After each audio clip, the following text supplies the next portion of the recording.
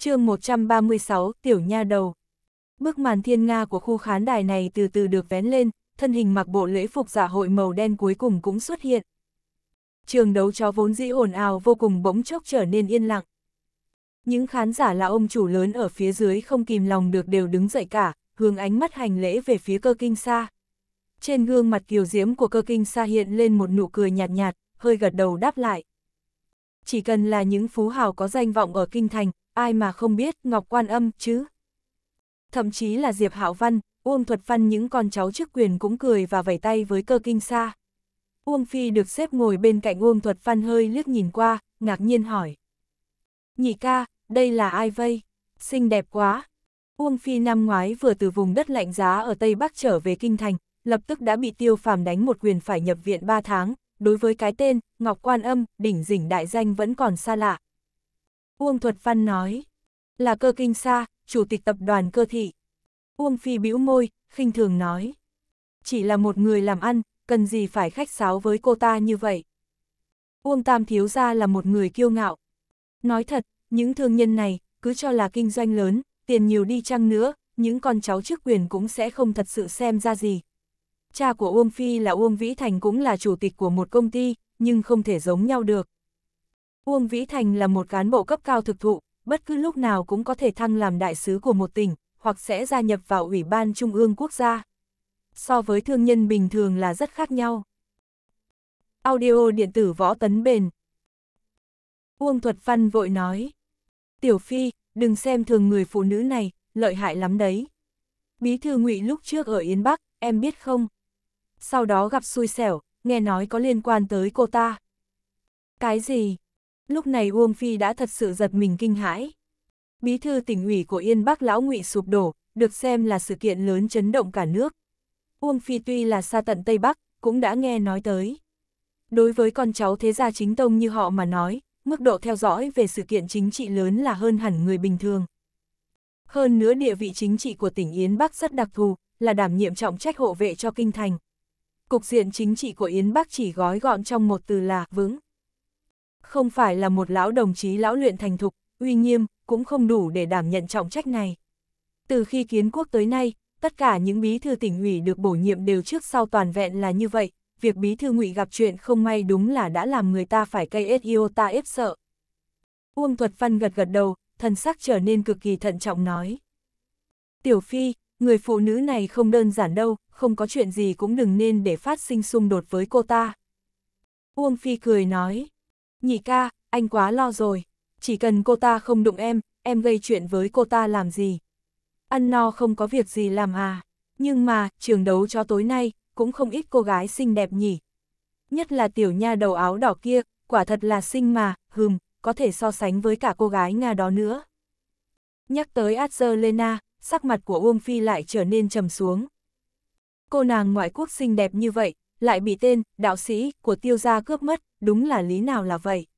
Một người xuất gia, lại đi tranh nữ nhân, tranh thì tranh đi, còn đánh đến Uông Tam thiếu ra tối tăm mặt mày. Uông Thuật Văn cười nói, Tiểu Phi, nếu không thì như vậy đi, anh gọi cho nghiêm bác bảo y tra thử lai lịch của cô bé đó cho em xem sao. Được đó. Uông Phi lập tức bật người dậy vẻ hưng phấn. Ngủ không được với nữ nhân Nga, ngủ với cô bé trắng trẻo trong veo này cũng rất tốt. Nếu Uông Tam thiếu ra mà biết cô bé hồn nhiên trong veo đó, ở mọi lúc mọi nơi bất cứ lúc nào đều có thể đâm một kiếm chí mạng lên người người khác, không biết có còn ý niệm này nữa không?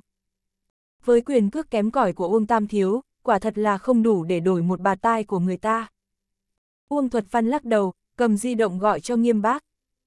Uông nhị thiếu gia cũng không thể nào hiểu nổi người em họ này, vừa gặp cô gái xinh đẹp thôi đã chảy hết nước giải. Chẳng lẽ đúng thiệt là, đi lính 3 năm, thấy heo nái có hơn cả điêu thuyền. Chỉ cần nó không có ý đi đánh cơ kinh xa là được. Uông Thuật Văn rất rõ, người phụ nữ này có thế lực khủng cây ta ép như thế nào tại kinh thành. Tuy rằng Uông gia là nhất đẳng nhất đại hào môn, cơ kinh xa căn bản cũng rất khó có thể uy hiếm được Uông gia. Nhưng Uông Thuật Văn và Uông Phi cũng không thể thật sự đại diện cho Uông gia. Mang theo cái bài phong, dùng thủ đoạn của một con cháu chức quyền đi đối phó với Ngọc Quan Âm là không được. Theo như những gì Uông Thuật Văn được biết, có rất nhiều hào môn thế gia đều có quan hệ mật thiết với cơ kinh sa và tập đoàn cơ thị. Nghe nói người phụ nữ đó ngoài xinh đẹp ra, còn có bản lĩnh rất đặc biệt, dụ dỗ được rất nhiều quan chức quyền cao chức trong dính bẫy. Về phần rốt cuộc dụ như thế nào, thì không cách nào biết được. Hoa đẹp có thể hái, nhưng những bông hoa có gai như hoa hồng, thì không nhất thiết phải hái cho bằng được. Cơ kinh xa tất nhiên không nghe thấy cuộc đối thoại của anh em Uông ra, ánh mắt nhìn về phía Uyển Thiên Thiên. Uyển Thiên Thiên thì vẫy tay với cô ta, cơ kinh xa điềm nhiên nở nụ cười, gật đầu đáp lễ. Phạm Nhạc ở phía sau thản nhiên nói. Sao bà cô nhỏ này cũng đến đây tham gia náo nhiệt à? Cơ kinh xa mỉm cười nói. Ai mà biết, Thiên Thiên là có tính ham chơi như vậy đó. Rất nhiều chuyện của cô ta, ngay cả ta cũng không đoán được. Nghe chừng trong lời nói này, có vẻ hai đại mỹ nhân này rất quen thân nhau. Phạm Nhạc, hừ, nhẹ một tiếng. Cô ta cứ quậy phá như vậy, chọc giận tôi. Tôi mà ra tay, sẽ cho cô ta biết tay. Hàng nghi xinh đẹp của cơ kinh xa hơi nhăn lại rồi giãn nghe nói, Phạm Nhạc, anh hình như có thành kiến với thiên thiên thì phải. Phạm Nhạc thản nhiên nói, thành kiến thì chưa tới, chỉ cần tối nay cô ta không quậy phá là được rồi. Sẽ không quậy phá đâu, yên tâm, tuy thiên thiên ham chơi, nhưng sẽ không càn quấy, rất biết đắn đo nặng nhẹ. Chỉ cần không đụng chạm tới cô ta, cô ta cũng sẽ không tùy tiện tìm người chút giận đâu. Ai mà dám đụng chạm tới cô ta chứ? Cũng chưa chắc, những người quên biết cô ta thì tự nhiên sẽ không dám, những người không quen cô ta thì hơi khó nói. Một tiểu nha đầu xinh đẹp như vậy cơ mà. Tiểu nha đầu. Phạm nhạc bất giác lắc đầu. Tiểu nha đầu, như uyển thiên thiên, không biết đã hại chết bao nhiêu người đàn ông rồi.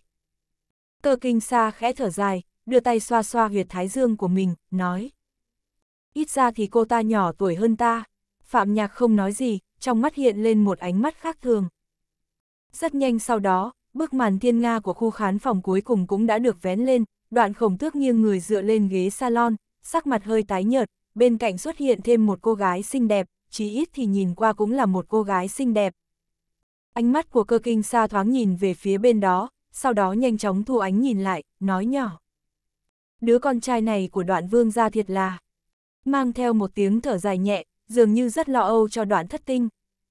Phạm nhạc cười lạnh lung nói tiểu tử này sao đức hạnh như vậy, ngang ngược, lại còn thích một hư, một chút cũng không giống đoạn thất tinh. Nghe nói, đoạn khổng tước ở trên đất của Hoàng Tam gia, lại bị vị đại thiếu gia tiêu gia đó thu phục. Phạm Nhạc, anh nói thử xem, tiêu nhất thiếu gia này rốt cuộc là người như thế nào. Ba anh en uông ra, cả Diệp Hạo Văn đều chịu trận dưới tay của hắn ta. Sắc mặt của Phạm Nhạc trở nên trịnh trọng, khẽ lắc đầu nói. Không biết nữa, người này hình như là đột nhiên từ đâu chui ra, trước đó, chúng ta với hắn một chút cũng không quen biết. Con cháu thế ra, hắn có thể được xem là có vai trò thấp nhất rồi. Làm việc ở bộ phận tôn giáo thật là quái lạ. Chính bởi vì như vậy, ta mới cảm thấy kỳ lạ. Anh không cảm thấy thú vị sao? Một kẻ ở đâu đó, không ai quan tâm tới hắn, tự nhiên chui ra, lại còn hết sức là mạnh nữa chứ. Nếu nói sau lưng tiêu nhất thiếu gia này không có câu chuyện gì đó, anh có tin không? Cơ kinh xa từ từ nói. Ý của cô, là điều tra lai lịch của hắn. Ừ, nhưng phải đặc biệt chú ý. Thời gian gần đây tiêu gia hình như không được ổn lắm, tiêu lão gia vốn đã bệnh tình nguy kịch, không hiểu bằng cách nào mà bình phục xuất viện. Văn nhị thái gia ở Hoàng Hải tự nhiên chạy tới kinh thành, lại còn sống ở gần nhà tiêu gia. Việc này không đơn giản chút nào, nếu thật sự có liên quan tới tiêu gia, chúng ta vẫn nên cẩn thận thì tốt hơn. Phạm Nhạc gật gật đầu. Hành động của Văn Nhị Thái gia quả thật là làm người khác khó hiểu. Ông cụ đã quy ẩn bấy lâu nay, chẳng lẽ thật sự muốn đến tứ cửu thành làm việc gì đó? Cơ kinh xa lắc đầu, nhíu mày nói. Đoán không được, hoàn toàn tính không được. Từ ngày đầu tiên ông ta đến kinh thành, ta trước sau đã bốc quẻ ba lần, đều không ra được một ít thông tin gì. Công lực của ông cụ, quá thâm hậu đi, đem mọi thứ che đậy một cách kính kẽ, bất luận là phương pháp bói toán nào cũng dùng không được. Phạm Nhạc giật mình hỏi. Cô đã bốc quẻ rồi à? Ừ. Phạm Nhạc không nói được gì nữa. Đối với năng lực của cơ kinh xa, có lẽ không có ai hiểu rõ bằng anh ta. Cơ ra lúc đó cục diện rối rắm như vậy, chỉ trong vòng 3 năm đã thu dọn tàn cuộc một cách sạch sẽ, hơn nữa còn đạt tới vinh quang. Kẻ thù của cơ gia, từng người một đều ngã xuống, những điều này đều là chính mắt Phạm Nhạc nhìn thấy. Bây giờ cơ kinh xa đối mặt với văn nhị thái gia, liên tiếp bốc ba quẻ, vậy mà ngay cả một chút tin tức cũng không tìm được, chẳng trách Phạm Nhạc lại giật mình kinh ngạc như vậy. Vô cực môn, thật sự lợi hại như vậy sao? Trong khoảnh khắc, cơ kinh xa thì thảo giống như đảng tự nói với mình. Một kinh thành đại hào, ngọc quan âm, phong độ tao nhã, gần như mọi việc đều nắm trong lòng bàn tay, trên mặt lần đầu tiên xuất hiện vẻ hoang mang. Phạm Nhạc cũng không khỏi hoang mang. Theo cơ kinh xa như hình với bóng nhiều năm nay, Phạm Nhạc cũng là lần đầu tiên nhìn thấy vẻ mặt hoang mang của cơ kinh xa, thật sự là không thể tin nổi. Trong mắt của Phạm Nhạc, bất cứ nơi nào lúc nào, mặc kệ thế cục có tồi tệ đến đâu, cơ kinh xa đều thản nhiên đối mặt, bình tĩnh muôn phần. Bây giờ, Văn Nhị Thái gia vào thành, không có bất cứ tiếp xúc gì với cơ gia, càng không có xảy ra bất cứ cuộc tranh chấp nào, cơ kinh xa lại tỏ ra lo lắng. Đôi bên không có xung đột vì lợi ích gì lớn, Văn Nhị Thái gia có lẽ không phải đến vì chúng ta. Đương nhiên là không, nhưng mà không làm rõ được lý do mà ông ta đột nhiên tới kinh thành, vẫn khiến người ta có chút e ngại. Ta đoán chừng, trong thời gian này, trong tứ cửu thành này nhất định sẽ xảy ra chuyện gì đó. Phạm Nhạc, dặn dò anh em, cẩn thận hành sự, không nên trêu chọc người đến từ Hoàng Hải. Cơ kinh xa nhíu mày sau đó lại giãn ra, nhẹ nhàng dặn dò. Lại khôi phục vẻ bình tĩnh như gió nhẹ thổi mây. Chỉ cần bọn họ không chủ động đến đụng chạm chúng ta, vậy trước tiên vẫn cứ xem chừng hắn rồi tính đi. Có lẽ sẽ không gây bất lợi gì cho chúng ta. Ừ. Phạm Nhạc gật gật đầu, nhẹ nhàng lùi về sau một bước, không nói gì nữa. chương 137, đặt cược cuộc thi đấu chó chính thức bắt đầu.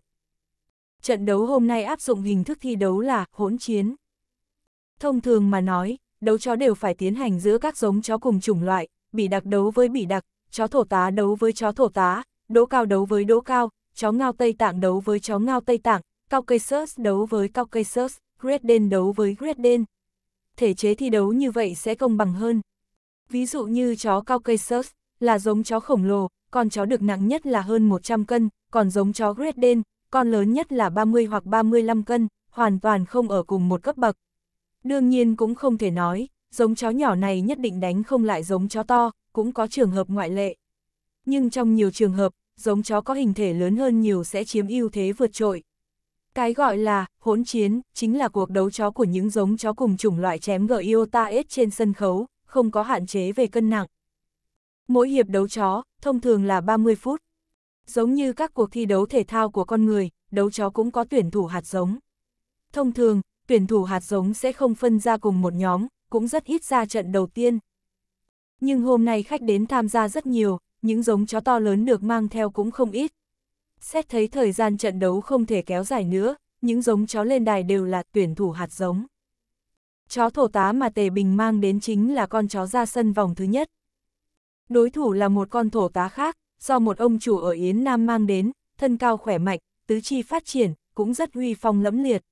Nghe nói đây cũng là một quán quân khuyển, giành danh hiệu vô địch ở hội triển lãm chó trong nước. Trong đại hội thi đấu chó ở Yến Nam, chưa từng thua trận. Thế nào, lão tề? Thấy con chó thổ tá bên kia, tiểu quế tử vội vàng nhìn về phía tề bình hỏi. Tề bình rút ra một điếu thuốc, bình thản nói. Không sao, thắng chắc, con chó này của tôi chưa từng thua trận. Đến thủ đô đã hơn một tháng, lão tề cố gắng uốn lưỡi nói tiếng quan thoại, cũng có chút giống phương ngữ Bắc Kinh. Tốt, vậy thì đặt 200.000 chứ, nhị ca. Tiểu quế tử rất hưng phấn. Ừ, tiêu thiên gật đầu. 200.000 tiền đặt cược, tiêu nhị ca vẫn thừa sức chơi được. Hơn nữa, lão tề nói chắc như đinh đóng cột như vậy, nghe xong cũng hứng thú rồi. Ngay sau đó, tiểu quế tử liền vội vàng đứng lên, cầm điện thoại đặt cược. Phía dưới khán phòng, nhân viên phục vụ đi tới đi lui, đứng giữa một đám khách thu tiền đặt cược. Sở dĩ đại hội thi đấu cho hấp dẫn mọi người, nhân tố quan trọng chính là sự ký bản quyền tê ý bản quyền kép. Đấu chó rất ký bản quyền tê ý bản quyền, đánh cược càng kích kích hơn. Quan trọng chính là niềm vui lo được lo mất này, lúc chơi thì tim đập dồn dập. Nghiêm bác quan sát ở phía sau sân khấu, cười tủm tỉm. Ý nghĩa của trò chơi này chính là kiếm tiền, mà kiếm nhiều tiền hơn so với nuôi chó. Cùng với danh tiếng nuôi chó của nghiêm bác ngày càng vang dội, khách đến cổ động cũng ngày càng đông. Trước đây, nửa tháng mới đấu chó một lần, bây giờ một tuần hai lần. Cấp bậc của khách cũng ngày càng cao. Nhìn xem, mấy vị, đại ca con ông cháu cha, vang danh thủ đô đều đến đông đủ rồi. Tuy nói, đại ca con ông cháu cha của thủ đô không chỉ có mấy người này, nhưng những người có thân phận, địa vị cao hơn tiêu nhị thiếu, Uông nhị thiếu, Diệp đại thiếu, cũng hiếm khi được gặp. Người xuất sắc trong thế hệ trẻ tuổi. Cho dù đây không hoàn toàn là sản nghiệp của một mình nghiêm bác, nhưng cơ tổng đối với anh em rất tốt. Nghiêm bác đã sớm là triệu phú, chừng 2 năm nữa, ông chủ lớn nghiêm bác cũng sẽ bước vào hàng ngũ tỷ phú. Nuôi mấy con chó liền trở thành tỷ phú, đây là chuyện mà trước kia nghiêm bác nghĩ cũng không dám nghĩ. Chính sách tốt, tất cả mọi người đều có tiền, họ tiêu tiền như nước, không làm càn một chút thì biết tiêu ở chỗ nào.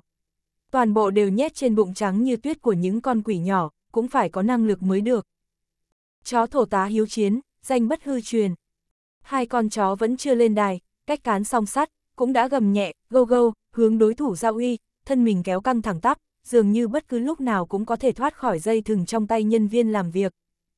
Một tiếng chiêng vang lên. Nhân viên làm việc gỡ dây thừng, mở cổng sắt, mở ra lối đi vào đài đấu chó. Hai con chó thổ tá cùng xông về phía trước. Vụt, cổng sắt của đài đấu chó cũng đã đặt xuống rồi. Hai con chó thổ tá mới vừa rồi còn sốt ruột không chịu nổi muốn xông lên bắt đầu đánh giá đối thủ từ trên xuống dưới. Tương đối mà nói, chó thổ tá là giống chó chiến đấu rất bình tĩnh. Ngoại trừ phát hiện những vật mới mẻ khiến nó cảm thấy ngạc nhiên, nó mới có thể phát ra âm thanh lớn. Xét về hình thể, chó thổ tá của Tề Bình to hơn một chút, còn chó thổ tá của Yến Nam, khi ngắm một mình nó cũng rất khỏe mạnh. Nếu hai con đặt cùng một chỗ, thì lại hiện ra tranh lệch. Kết quả chiến đấu cơ bản không có gì trì hoãn. Ban đầu định thời gian thi đấu là 30 phút, nhưng 5-6 phút đã đấu xong rồi.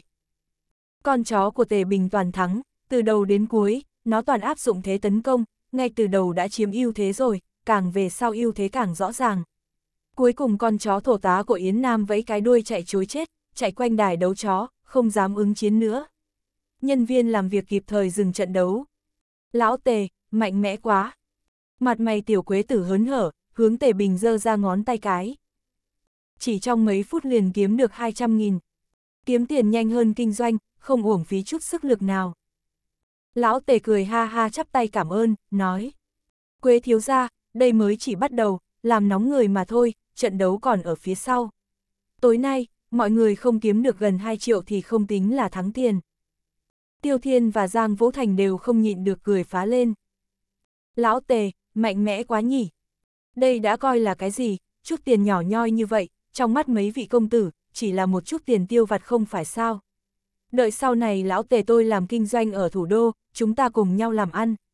Tôi nhờ hào quang của mấy vị công tử đấy. Phát tài, ha ha, lời nói của Tề Bình rất khiêm tốn. Có thể trong mắt y, những con ông cháu cha ở thủ đô này, tất cả đều xuất thân là tỷ phú. Tiêu Thiên và Giang Vũ Thành liếc mắt nhìn nhau, cười mà không nói. Mặc dù Tề Bình là bạn trí cốt của bọn họ, có một số bí mật tạm thời không thể cho y biết được. Nếu người làm ăn từ phương Nam tới biết xuất thân của tiêu nhị ca còn không đến một triệu, chỉ sợ nhất thời sẽ coi thường tiêu nhị ca. Những người làm ăn à, ai nhiều tiền thì sùng bái người ấy. Đây là chân lý không thể thay đổi. Con ông cháu cha thiếu tiền tiêu, có lẽ đã nói rõ năng lực của bọn họ có hạn, chỉ là hào nhoáng bên ngoài.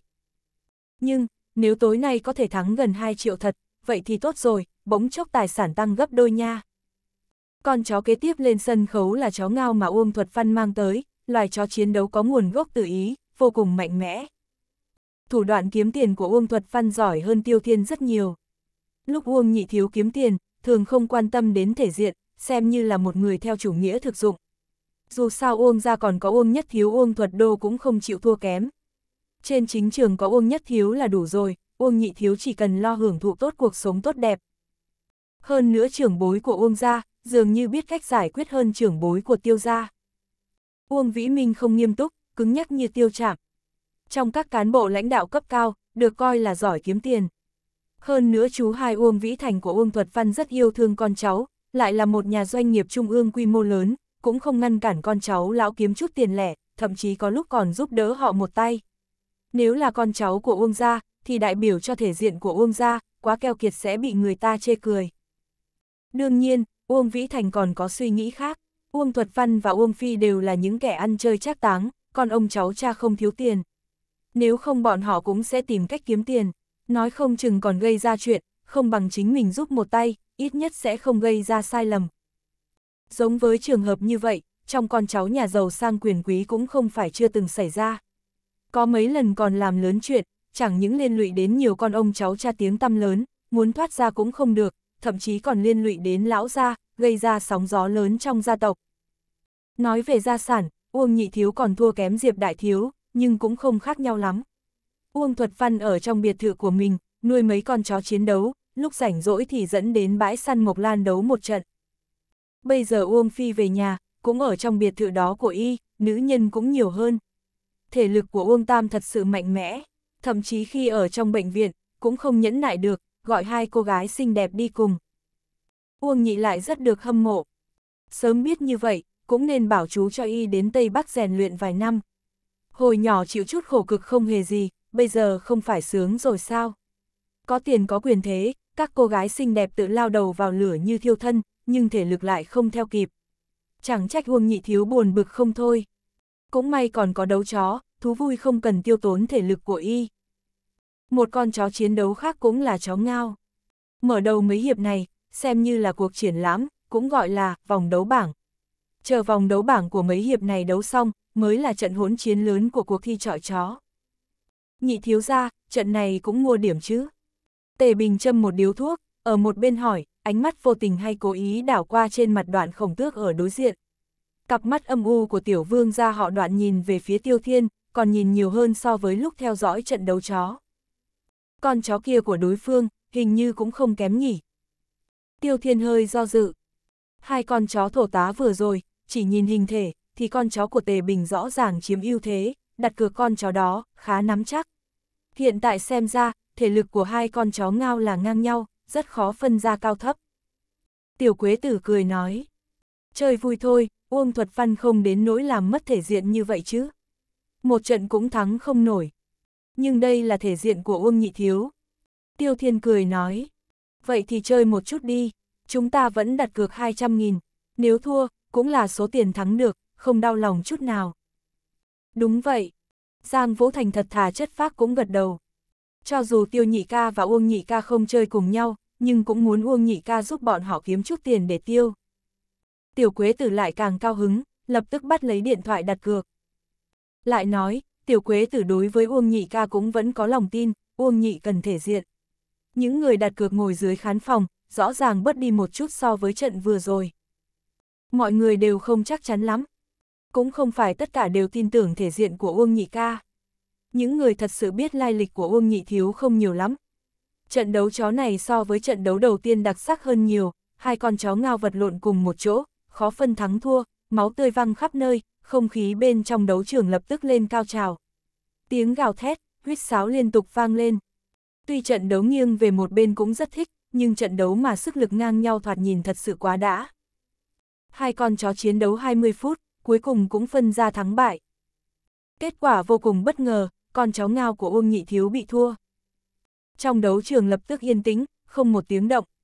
Tiêu Thiên, Giang Vũ Thành, Tiểu Quế Tử, Tề Bình ngơ ngác nhìn nhau, đều hơi ủ rũ. chương 138, Diệp Đại Thiếu muốn báo thù.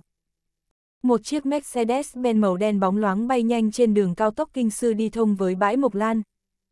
Tân Lâm miệng không nói, lại không thể không thừa nhận, cảm xúc lái xe Mercedes-Benz quả thật tốt hơn nhiều so với chiếc xe quốc nội nửa mới nửa cũ kia, nhất là chạy đường dài. Tiêu phàm ngồi ở buồng lái, trong tay vuốt vuốt chiếc nhẫn ngọc phỉ thúy, chính là chiếc nhẫn lấy từ trong tay của Uyển Thiên Thiên. Theo phỏng đoán hẳn là lúc Dương Minh Tiên sinh hạ táng đã đeo trên ngón tay. Khóa trường mệnh và chân châu đen xuyên cùng với nhau, đeo ở trên cổ của tiêu phàm. Dương Minh Tiên sinh một đại tông sư, thuật kham dư phong thủy và luyện khí đều đạt trình độ cao thâm. Ba pháp khí này đã hấp thu tinh hoa tu luyện cả đời của ông. Tiêu phàm cũng phải cần một thời gian dài để dần dần chuyển hóa thành vật mình sử dụng. Nghịch thiên cải mệnh, cảnh giới của tiêu phàm đã bị rớt xuống, nguyên khí đại thương, bên trong ba pháp khí này ẩn chứa tinh hoa, có lẽ có thể có ích lợi đối với hắn. Hắc lân màu lông pha tạp trắng đen ghé vào trong lòng tiêu phàm, buồn ngủ. Nửa năm nay, Hắc lân vẫn không thế nào lấy lại được tinh thần. Lena mặc chiếc váy trắng bó sát người, trên cổ đeo vòng cổ chân châu sáng lấp lánh im lặng ngồi ở chỗ ngồi phía sau Mercedes-Benz. Cô không biết Tiêu Phàm muốn dẫn cô đi đâu, nhưng cũng không mở miệng hỏi. Tiêu Phàm gọi một cú điện thoại tới, bảo cô làm như thế nào thì cô liền làm như thế đó. Trong sân đấu cẩu, Tiêu Thiên cũng không biết là đại ca của mình đang trên đường chạy tới chỗ này, hoàn toàn đắm chìm trong không khí càng ngày càng tăng vọt của hiện trường.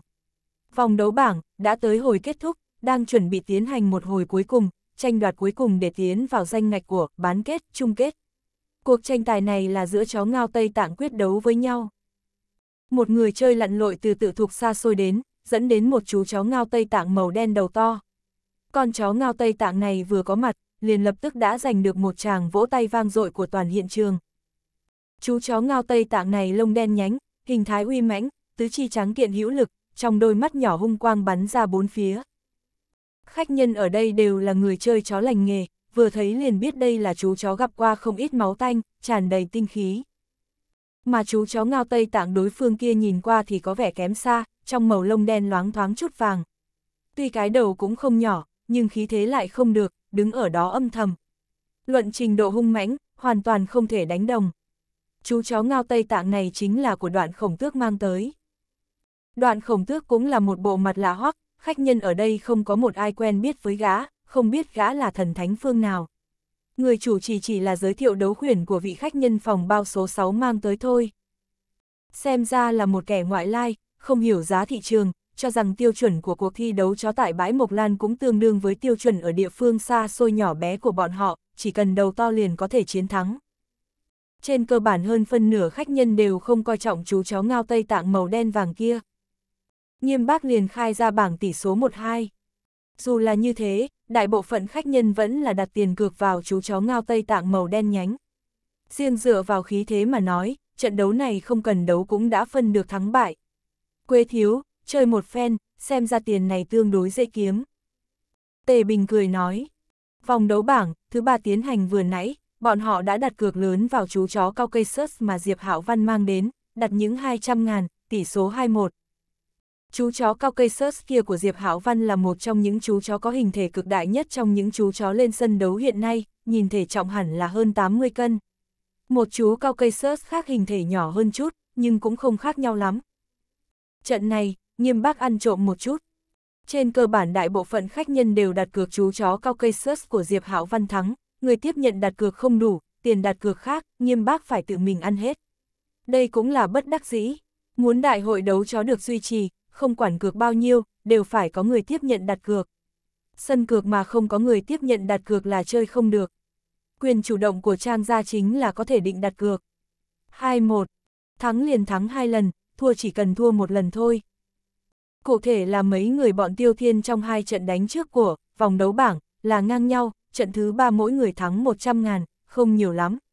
Đến trận thứ tư này đều có chút do dự. Giang Vũ Thành nói, hay là lại xem xem, phía sau không phải còn có ba trận sao. Đây là, vòng đấu bảng, hồi cuối cùng, đấu xong trận này, tiến vào trận, bán kết, và chung kết, hai trận vòng bán kết, một trận chung kết. Đến lúc đó không khí hiện trường khẳng định càng thêm kịch liệt.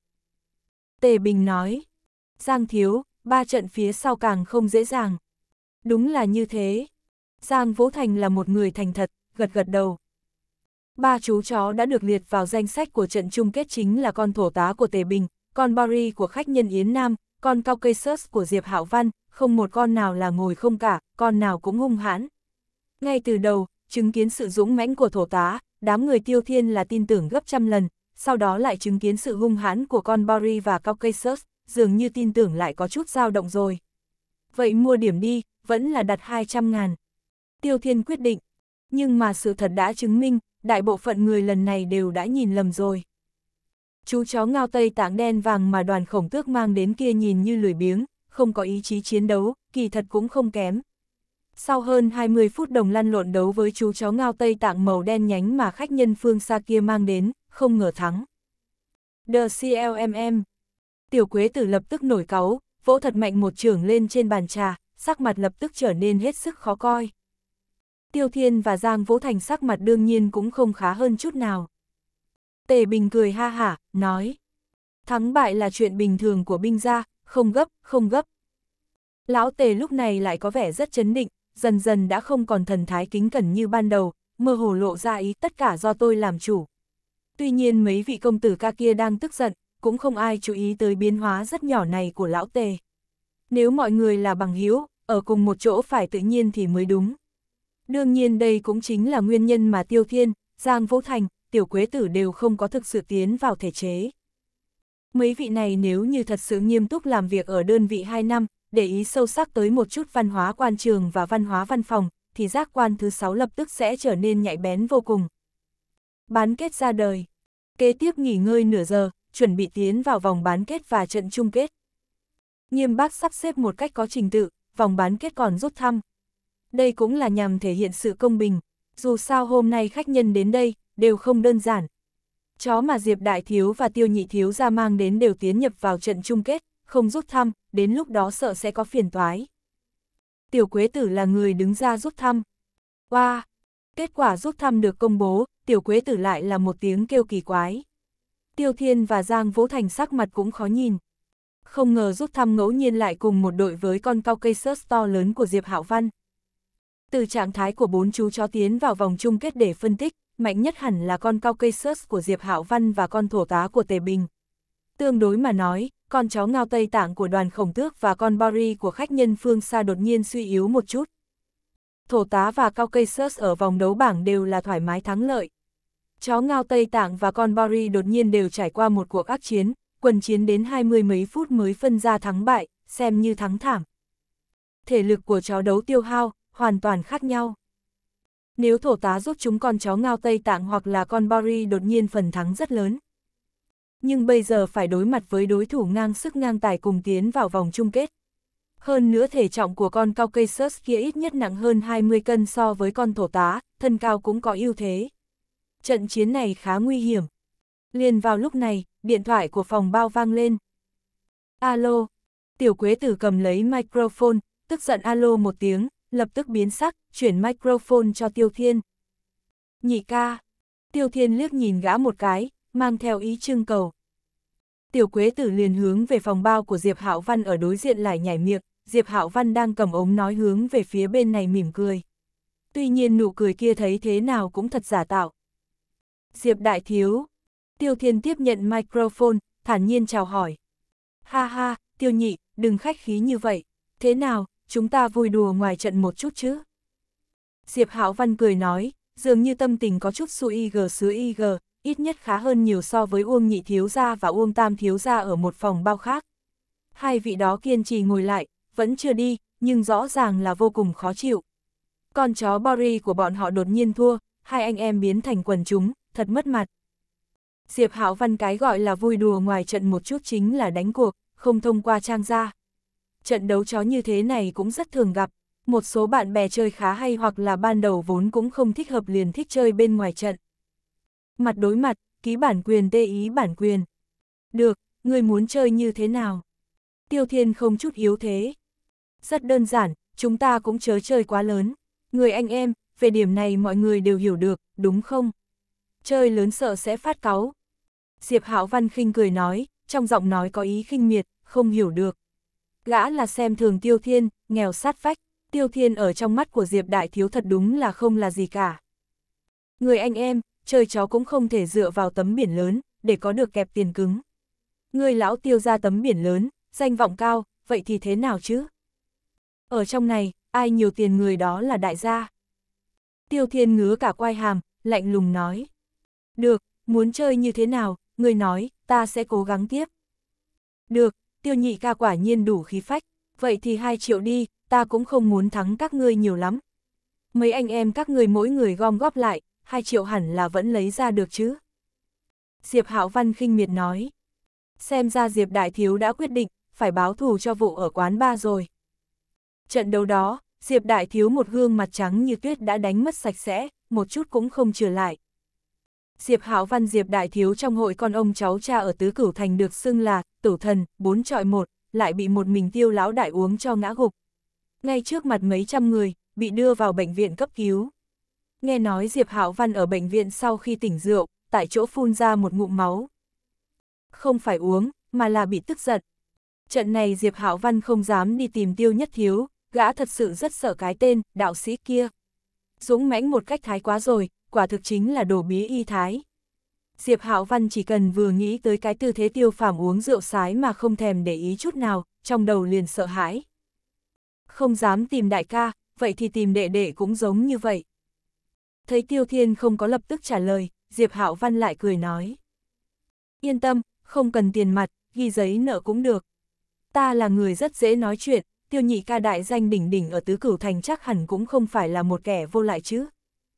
Tiêu Thiên cười lạnh một tiếng, nói theo cái ý tứ này, ngươi ăn ta chắc phải không? Không, chỉ cần hỏi ngươi một câu, có dám hay không? Không dám thì bỏ đi. Được, hai triệu đúng không?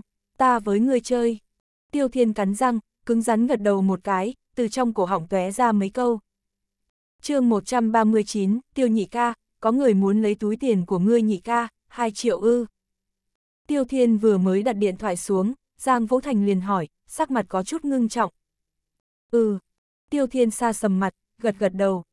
Tiểu Quế tử nghiến nghiến răng, mày cũng nhíu lại, không lên tiếng. Hai triệu quả thật không phải là một số lượng nhỏ.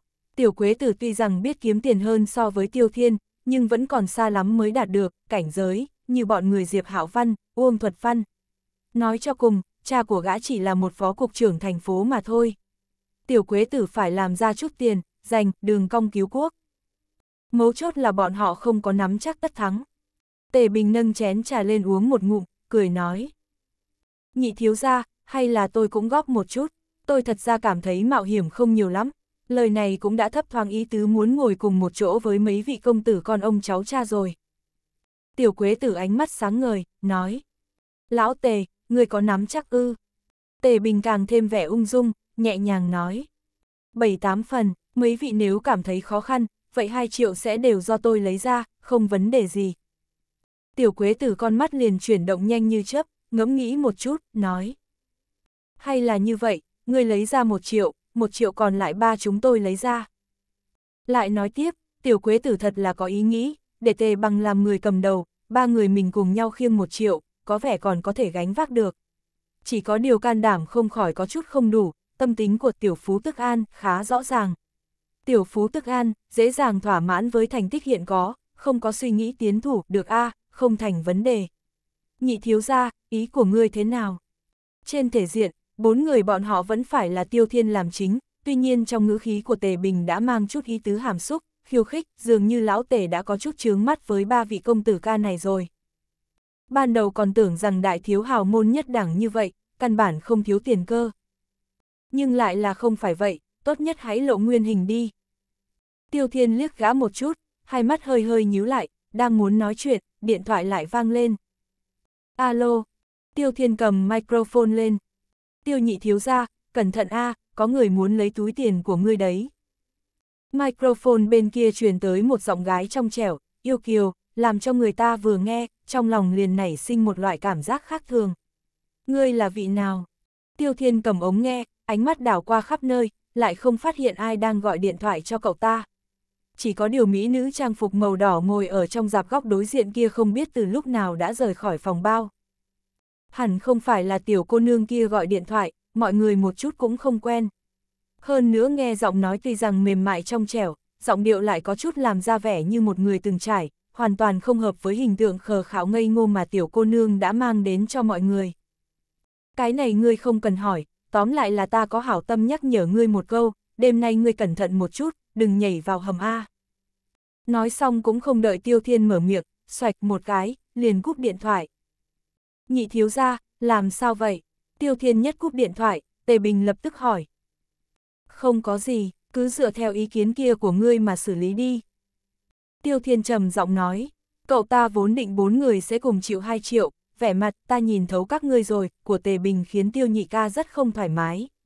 2 triệu một mình cậu ta nuốt không trôi, 500 ngàn còn miễn cưỡng gánh vác được.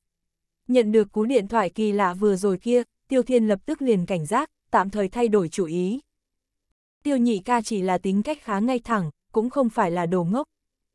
Mặc dù cậu ta đối với cú điện thoại kia tràn đầy lòng hiếu kỳ, nhưng không thể hại người, không thể không đề phòng người. Đều có người nhắc nhở rồi, cẩn thận một chút không thừa. Các vị xin hãy trật tự, tiếp theo trận đầu vòng bán kết bắt đầu, thổ tá đấu với Caucasus. Nửa giờ nghỉ ngơi trôi qua rất nhanh, người chủ trì cầm microphone, lớn tiếng tuyên bố. Đã là thi đấu thì người chủ trì nhất định là phải có. Người chủ trì này cũng là lão thủ, làm không khí rất có nghề. phải thổi phồng không khí của hiện trường lên, thì mới có người đập tiền vào. Hai đấu khuyển được dẫn vào trong sân đấu. Chờ một chút, Diệp Hạo Văn bỗng nhiên đứng dậy. Ánh mắt của mọi người liền đồng loạt nhìn tới, không biết Diệp Đại Thiếu có lời gì muốn nói. Các vị, ta muốn tuyên bố một tin tức, vừa rồi ta và Tiêu Nhị Thiếu ra ở phòng bao số 4 đã chơi ngoài trận. Không nhiều lắm, chỉ 2 triệu, Tiêu Nhị Thiếu ra, là như vậy nhỉ? Trong bãi lập tức phát ra một mảnh tiếng động ngạc nhiên thán phục. Mặc dù nói có thể xuất hiện ở bên trong bãi này cũng đều không phải người bình thường. Nhưng một trận đấu chó, bên ngoài trận 2 triệu, vẫn là đủ khiến cho anh động. Đương nhiên, cũng không loại trừ một bộ phận tiếng thán phục chỉ là giả vờ, cố ý thổi phồng Diệp Đại Thiếu một chút. Dù sao trong đám khách, cũng vẫn có rất ít người biết rõ thân phận của Diệp Đại Thiếu. Tiêu Thiên lãnh đạm gật gật đầu, không đứng dậy, cũng không nói gì. Diệp Hạo Văn rõ ràng muốn lấy lòng mọi người, tiêu nhị thiếu gia không có nghĩa vụ làm nền cho gã. Tiêu nhị thiếu gia, hay là chúng ta cũng chơi bên ngoài trận, cũng giống như Diệp thiếu gia bên kia, 2 triệu, được không? Tiêu Thiên không làm, làm nền, có người nguyện ý đi ra làm lá cây. Trong bãi lại là, xôn xao, một tiếng. Uông Thuật Văn kỳ thật và Diệp hảo Văn cũng không có nhiều giao tình lắm, mỗi người đều là, đại ca, trong hội, ngày bình thường cũng không có xuất hiện cùng một chỗ quá nhiều. Tuy nhiên về phương diện đối phó với Tiêu Thiên này, Uông Nhị Thiếu Gia và Diệp Đại Thiếu lại là nhất trí lập trường. Tiêu Thiên răng hàm lại nghiến ken két. Uông Thuật Văn đây là nhân lúc cháy nhà mà đi hôi của A. Tất cả ánh mắt đều nhìn về phía phòng bao số 4, xem Tiêu Thiên trả lời như thế nào. Tiểu Quế tử vội vàng nhắc nhở một câu. Nhị ca, 2 triệu là được rồi, một trận không cần chơi quá. Nhị thiếu ra, hay là để tôi tiếp? Mắt thấy Tiêu Thiên không dễ quyết định, Tề Bình ở một bên khinh cười nói, có vẻ vô cùng tin tưởng. Lão Tề, người đối với chó của ngươi đúng thật là rất có lòng tin. Tiểu Quế Tử nói. Tề Bình cười nói. Đúng thế, tự mình nuôi dưỡng chó, tôi trong lòng có nắm chắc. Đừng nhìn con cao cây sớt này hình thể lớn một chút, thực đánh nhau rồi chưa chắc đã là đối thủ của thổ tá. Tiểu Quế Tử lập tức nói. Được, người có nắm chắc, người tiếp đi. Hiện tại cũng chỉ có thể làm như vậy, vừa bảo vệ thể diện của đám người, không yếu thế trước Uông Thuật Văn, lại không mạo hiểm. Tiêu Thiên chậm rãi đứng lên, nhìn về phía Uông Thuật Văn, mặt không chút thay đổi nói nói. Được, tốt lắm, tiêu nhị thiếu ra đủ khí phách. Uông Thuật Văn liền giơ ngón tay cái lên, hài lòng ngồi xuống, nhìn Diệp Hạo Văn ở phía xa cùng nhau cười.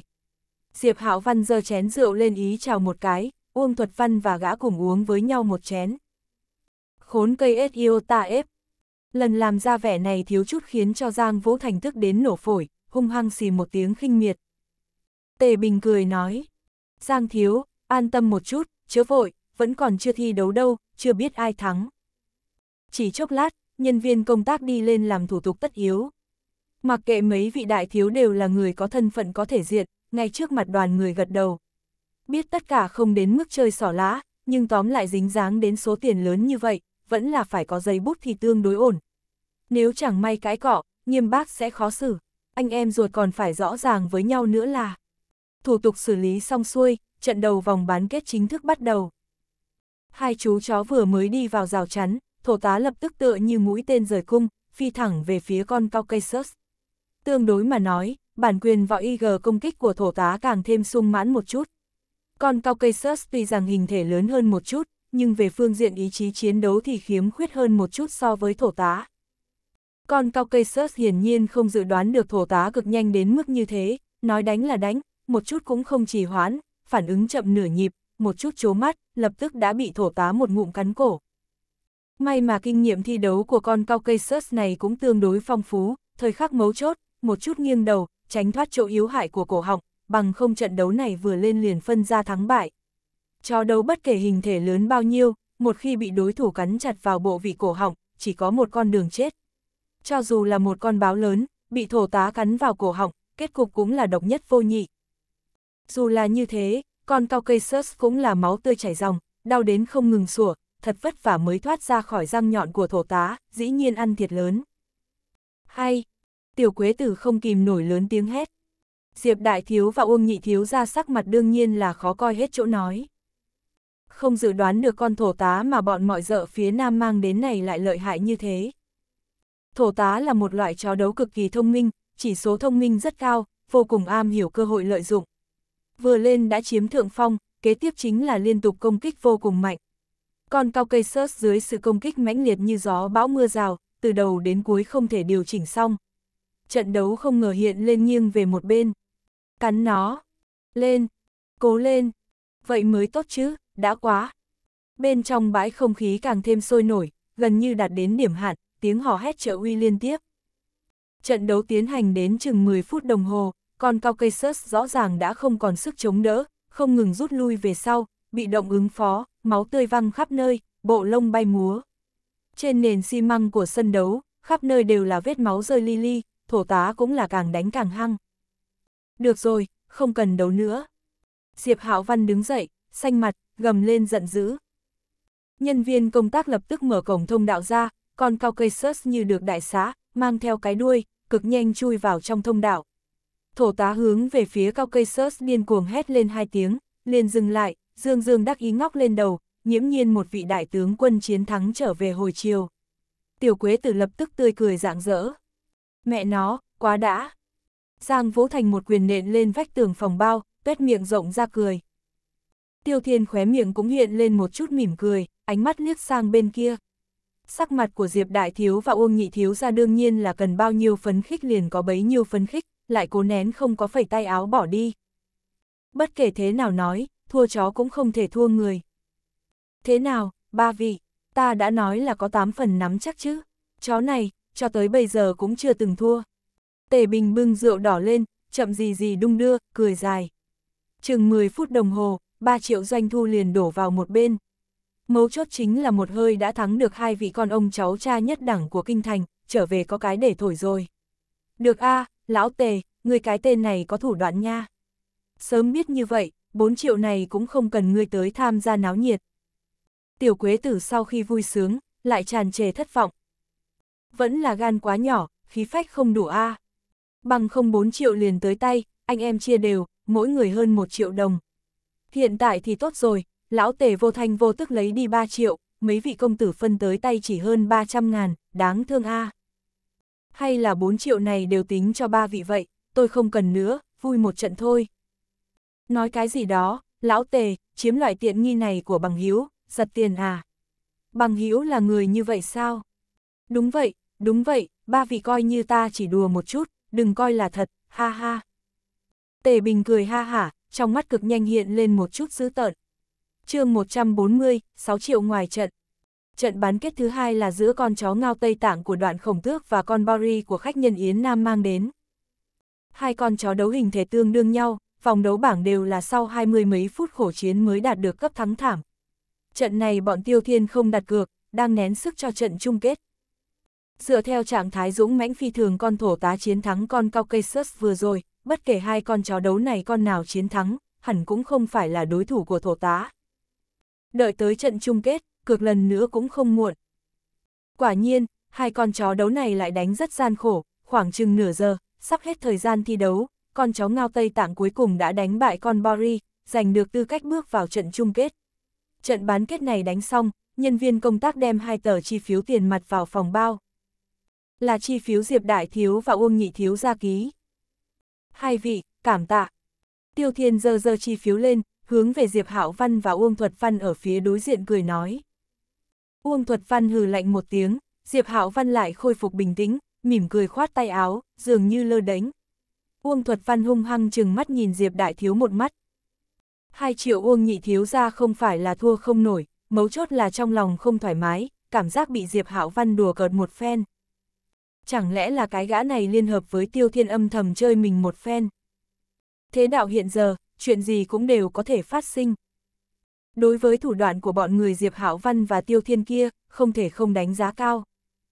Hai tấm chi phiếu, Tiêu Thiên đều giao cho Tề Bình, Tề Bình cũng không khách khí, nhận lấy. Tiêu Thiên không muốn chiếm tiện nghi của Tề Bình. Về phần một triệu bọn họ thắng kia, chắc hẳn Tề Bình cũng không dám nuốt, đến lúc đó tự nhiên sẽ đưa tiền mặt cho bọn họ. Nhị thiếu ra, đợi trận chung kết, chúng ta cược nhiều một chút nhé. Tôi xem chừng, tỷ lệ cược ít nhất là 3-1. Bằng không, nghiêm bác đến quần đều thua sạch rồi. Nhận lấy chi phiếu, Tề Bình cười ha hả nói. Không đợi Tiêu Thiên trả lời, Tiểu Quế Tử lập tức nói. Đương nhiên rồi, chúng tôi toàn bộ cược hết. Tiêu Thiên và Giang Vũ Thành đều gật gật đầu. Mặc dù nói trận đấu chó không có xảy ra cái gì bất ngờ cả, nhưng trạng thái của hai con chó đấu tranh lệch quá mức rõ ràng, cũng là không cần phải hoài nghi. Quả nhiên, đối với trận chung kết nghiêm bác khai ra tỷ lệ cược là 3-1. Trong trận chung kết, Cẩu Vương khai ra tỷ lệ cược như vậy, vẫn là lần đầu. Bình thường mà nói, chó đấu có thể tiến vào trận chung kết, cũng sẽ không kém nhiều lắm. Đây không phải là ngộ chiến, mà là thông qua vòng đấu bảng, vòng bán kết để đi lên đấy. Chó đấu kém quá xa, căn bản không vào được trận chung kết. Chỉ có điều lần này cũng thật sự là vừa vặn, vòng bán kết rút thăm, ngẫu nhiên rút được thổ tá và cao cây Caucasus cùng một đội, cũng có nghĩa là trận chung kết được tiến hành trước rồi. Nhưng chỉ cần chủ của chó đấu hai bên không ai đề xuất không tham gia trận đấu, trận đấu kế tiếp cho dù lực cách xa, thì vẫn phải tiến hành. Xem ra nam khách nhân trẻ tuổi của phòng bao số 6 kia tính cách tương đương quật cường, biết rõ không địch lại, cũng muốn kiên trì tới cùng. Tỷ lệ cược là 3-1, đại đa số khách nhân vẫn cược cho con thổ tá của Tề Bình. Nghiêm bác sắc mặt trở nên thật khó coi. Trong vòng mấy phút, tiền đặt cược y thu được cũng đã hơn chục triệu, đợi trước khi trận đấu chính thức bắt đầu, phỏng chừng có thể thu đến hai chục triệu tiền đặt cược. Cho dù là tỷ lệ cược là 3-1, nếu như cháu ngao Tây Tạng thua trận, y cũng phải bồi thường hơn 6 triệu. Biết rõ 90% là phải thua, nhưng tiền đặt cược này vẫn phải cắn răng làm tiếp. Vậy cũng coi như là bất đắc dĩ của nhà cái. Nghiêm tổng, nếu như ông cảm thấy áp lực quá lớn, vậy bàn này một mình tôi tiếp. Vào lúc đang ầm ầm, đoạn khổng tước của phòng bao số 6 đứng lên, đi tới cửa sổ phòng bao, trong tay kẹp một điếu thuốc lá nghi ngút khói, chậm rãi nói. Giọng nói tuy rằng không lớn, lại không một chút chịu ảnh hưởng bởi không khí hỗn loạn của hiện trường, mọi người ở đây gần như đều nghe được rõ ràng. Trong bãi lộn xộn trong nháy mắt liền an tĩnh lại, tất cả mọi người đều ngẩng đầu nhìn về phía người trẻ tuổi ngoại lai sắc mặt tái nhợt này, cả đám lộ ra vẻ kinh ngạc. Đây rốt cuộc là đặc biệt có niềm tin đối với con chó ngao Tây Tạng của mình, hay là nhiều tiền quá không có chỗ ném. Có lẽ hai cái đều có đủ cả. Đoạn thiếu, hảo ý tâm lĩnh, vẫn là ta tự mình tiếp nhận. Nghiêm bác gượng cười, nói. Đây cũng là vấn đề thể diện, nghiêm tổng không thể khiến mọi người cảm thấy y ngay cả 6 triệu đều không bồi thường nổi. Mở trường đấu chó quy mô lớn như vậy, chút thực lực ấy cũng không có, chỉ sợ sẽ ảnh hưởng đến kinh doanh sau này. Nói trắng ra là, ở đây, sức hấp dẫn của đánh bạc không chút thua kém sức hấp dẫn của đấu chó. Vì sao các trại nuôi chó khác đều không thể làm ra quy mô lớn như vậy? Không phải người ta nuôi dưỡng không ra chó ngoan, cái chính là không có tài lực lớn và mạng lưới quan hệ rộng rãi như nghiêm bác. Đoạn khổng tước gật gật đầu, bỗng nhiên chuyển hướng sang tiêu thiên ở phòng bao số 4, cười nói. Tiêu nhị thiếu ra, hay là chúng ta cũng chơi một phen bên ngoài trận nhỉ? Một so một, 4 triệu, như thế nào? Một so một. Tất cả mọi người kinh hô lên, mở to hai mắt nhìn, ánh mắt nhìn đoạn khổng tước thật giống như đang nhìn một kẻ điên bất trị. Tuy rằng chó là chính người nuôi dưỡng, có niềm tin là chuyện tốt. Nhưng tranh lệch vẫn ở đó, mà vẫn có chết cũng không nhận thua. Đó không phải là vô cùng tin tưởng, mà là đã uống nhầm thuốc. Tiêu Thiên mỉm cười, ánh mắt hơi hơi híp mắt, nói. Đoạn thiếu, hai ta trước kia chưa từng gặp nhau nhỉ. Vô duyên vô cớ đưa 4 triệu cho ta, có chút không đảm đương nổi a. Vô công bất thụ lộc. Không sao, đây không phải thú vị sao. Dù sao mấy triệu đồng cũng không phải là chuyện gì to tát cả, người thấy đúng không, tiêu nhị thiếu ra. Lúc tôi ở phía Nam, thường xuyên nghe bằng hữu nói rằng, các công tử đại thiếu ở thủ đô người nào cũng đều rất giỏi, coi tiền tài như phân, đêm nay xem như được lĩnh hội rồi. Đoạn khổng tước mỉm cười nói, tươi cười nhìn qua một cách đặc biệt chân thành, hình như là từ đáy lòng đang tán thưởng công tử đại thiếu của thủ đô. Tiêu Thiên liếc mắt sang bên cạnh một cái, phát hiện Tề Bình không ở trong phòng, có thể là đi phòng vệ sinh rửa tay. Đoạn khổng tước dường như đã nhận ra động tác nhỏ của Tiêu Thiên, cười nói. Tiêu nhị thiếu ra, ngay cả chút chuyện như vậy, không cần phải cả đám cùng nhau thương lượng chứ. Tiêu nhị thiếu ra vừa rồi chẳng phải đã thắng 4 triệu sao. Diệp Hạo Văn cười ha hả, nói. Đoạn thiếu, đúng không? Người có thể không rõ ràng lắm, công tử đại thiếu của thủ đô bên này cũng chia ba bảy loại đấy. Tiêu nhị thiếu ra như vậy đương nhiên là nhất đẳng, người nói như vậy, tiêu nhị thiếu ra có thể sẽ tức giận đấy. Hừ hừ, Uông Thuật Văn bên kia kéo dài giọng cười lạnh hai tiếng, thần thái khinh thường, mặc cho ai đều là rành mạch. Diệp Hạo Văn, Uông Thuật Văn không dính vào, có lẽ Tiêu Thiên còn phải do dự một chút. Dù sao 4 triệu thắng vừa rồi, phân đến trên đầu của mình chỉ có 300 ngàn, Tề Bình lại đúng lúc không có ở đây, đoàn khổng tước một hơi đã kêu tới 4 triệu. Nhưng hiện tại Diệp Đại Thiếu và Uông Nhị Thiếu ra đều đâm một chân, Tiêu Thiên thật đúng là không thể do dự tiếp được nữa. 4 triệu thì 4 triệu, ai sợ ai chứ? Giang Vũ Thành ở một bên buồn bực, giọng nói hờn dỗi tiếp lời. Tiêu Thiên liền cười, hướng về phía đoạn khổng tước nói. Được, đoạn thiếu muốn chơi, liền chơi với người chứ sao? Ai, chúng ta phải nói trước, một so một là chính đoạn thiếu tự mình nhận đấy, mọi người hãy làm chứng, cũng không phải là tiêu nhị tôi định. Đoạn khổng tước ngạo nghễ nói. Đương nhiên là do tôi định, điều này có gì phải hoài nghi chứ? Chó do tôi nuôi dưỡng, tôi trong lòng có nắm chắc. Được, lời này của đoạn thiếu, tôi thích nghe. Hay là tôi chơi với anh, tiêu nhị thiếu ra, tôi thêm 2 triệu, một so một, như thế nào? Diệp Hạo Văn cười nói. Uông Thuật Văn và Uông Phi liếc nhau, trên mặt đều lộ ra thần sắc hoài nghi. Diệp Hạo Văn đang làm cái trò gì? Vừa mới thua 2 triệu, hiện tại lại chơi 2 triệu. Mặc dù cả đám đều biết Diệp Đại Thiếu không thiếu tiền, nhưng 2 triệu tùy tiện lấy ra nước rội lá khoai, cũng không phải chuyện hay chứ. Tiêu tiền không phải là tiêu như vậy. Tuy nhiên Uông Nhị Thiếu Gia và Uông Tam Thiếu đều không có tham gia vào. Không làm rõ được tình trạng, tùy tiện dính vào, là rất không sáng suốt. Uông Nhị Uông Tam không phải người ngu, lại không ai ép buộc, không cần phải nhảy vào vũng nước đục làm gì. Uyển Thiên Thiên vẫn cười dài nhìn hết thảy này, quay đầu nói với Đường Huyên. Nhị tỷ, chúng ta đặt 2 triệu, mua con chó ngao Tây Tạng của đoạn khổng tước. Đường Huyên hai hàng lông mày hơi hơi dương lên, kinh ngạc nói. Mua chó ngao Tây Tạng ư. Đúng vậy, một trọi ba, tiền như vậy mà không kiếm, không phải đồ ngốc sao. Một trọi ba thì một trọi ba, nhưng... Không nhưng nhị gì hết, gọi điện thoại cho nghiêm bác, mua. Uyển Thiên Thiên vung tay lên, giọng điệu không chút nghi ngờ. Vâng, đại đương ra hạ quyết tâm, đường huyên cũng không khuyên nữa, cầm điện thoại lên đặt cược. Thế nào, tiêu nhị thiếu ra, không nể tình à? Đoạn thiếu 4 triệu người đều tiếp rồi, ta đây chỉ là 2 triệu, không tính là chuyện lớn chứ. Mắt thấy tiêu thiên vẫn buồn bực không lên tiếng, Diệp Hạo Văn từng bước ép sát, vẻ khiêu khích đã viết hẳn lên trên mặt. Tiêu nhị thiếu ra, tiếp đi, một trọi một, nếu như ngươi không muốn tiếp, vậy ta tiếp A. Trong bãi có khách nhân gấp gáp không kìm nổi kêu la. Kỳ thật y và mấy vị đại thiếu này cũng không quen biết, chính là đỏ mắt với tỷ lệ một trọi một. Nếu lại đặt cược ở chỗ nghiêm bác, muốn thắng 2 triệu, vậy nhất định phải đặt cược 6 triệu mới được. Ánh mắt của Diệp Hạo Văn nhàn nhã quét lại, lạnh lùng nói. Ngươi là vị nào, đoạt kinh doanh với tiêu nhị thiếu ra sao, xem thường tiêu nhị thiếu ra à? Khách nhân kia cười ha hả, không nói thêm gì nữa. Tiêu nhị thiếu ra, tiếp. Đúng vậy, chơi với gã một phen, sợ cái gì chứ? Ngạo khí của Diệp Hạo Văn đã chọc giận không ít khách nhân, đều đánh trống gieo hò, bơm hơi khuyến khích cho Tiêu Thiên. Biết ngươi Diệp Đại Thiếu có lai lịch, nhưng đêm nay trong trận này, cũng không có đổ gà mờ. Khoe khoang cái gì chứ? Nhị ca, tiếp, cho dù là 6 triệu, anh em chúng ta ba người chia đều, cũng liền một người 2 triệu, dọa không được ai. Tiểu quế tử nhịn không được, ở một bên khuyến khích. Mấu chốt là ưu thế của thổ tá nhà mình rõ ràng như vậy, người ta tăng cường đưa tiền tới cửa, không tiếp mới là người ngu. Được, Diệp thiếu ra, vậy chúng ta sẽ chơi một phen. Tiêu Thiên rốt cục hạ quyết tâm, tiêu nhị thiếu ra vốn không phải tính tình của đàn bà, chỉ là hầu bao không phòng, 6 triệu vượt quá xa phạm vi chịu đựng của cậu ta, trong đầu hoặc nhiều hoặc ít có chút lo lắng, không đủ dũng khí.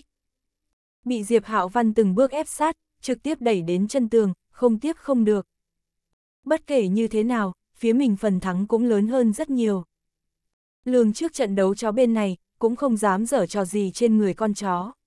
Năm kia có một ông chủ của bãi đấu chó ở Tứ Cửu Thành từng dở trò như vậy, sau khi bị khách nhân phát hiện, thiếu chút nữa bị mất mạng, bãi đấu cho như vậy đóng cửa. Tiền tuy rằng là đồ tốt, nhưng phải có mạng thì mới hưởng thụ được.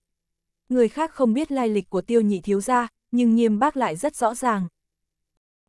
Audio điện tử võ tấn bền chương 141, chó ngao Tây Tạng chân chính. Sau khi người chủ trì lớn tiếng tuyên bố trận chung kết bắt đầu, hội trường hỗn loạn trong nháy mắt liền yên tĩnh trở lại, đoàn người đều nhìn không chớp mắt về phía đài cao hình tròn ở trung tâm. Bất kể đại bộ phận khách nhân đều nhất trí coi trọng thổ tá, nhưng kết quả cuối cùng như thế nào, dù sao cũng phải chờ kết thúc trận đấu mới có thể công bố. Trận đấu ngay từ đầu liền xảy ra không ngờ. Thổ tá vốn ý chí chiến đấu vô cùng sung mãn, sau khi lên đài thái độ khác thường, cũng không có lập tức tiến công, mà là bình tĩnh đứng ở bên cạnh đài cao, nhìn về phía chó ngao tây tạng màu đen vàng bên kia. Chi trước gắt gao quỳ dạp trên mặt đất, đầu ngóc lên, phát ra tiếng sủa, gâu gâu, vẻ mặt vô cùng khẩn trương, thậm chí mang theo vài phần ý sợ hãi.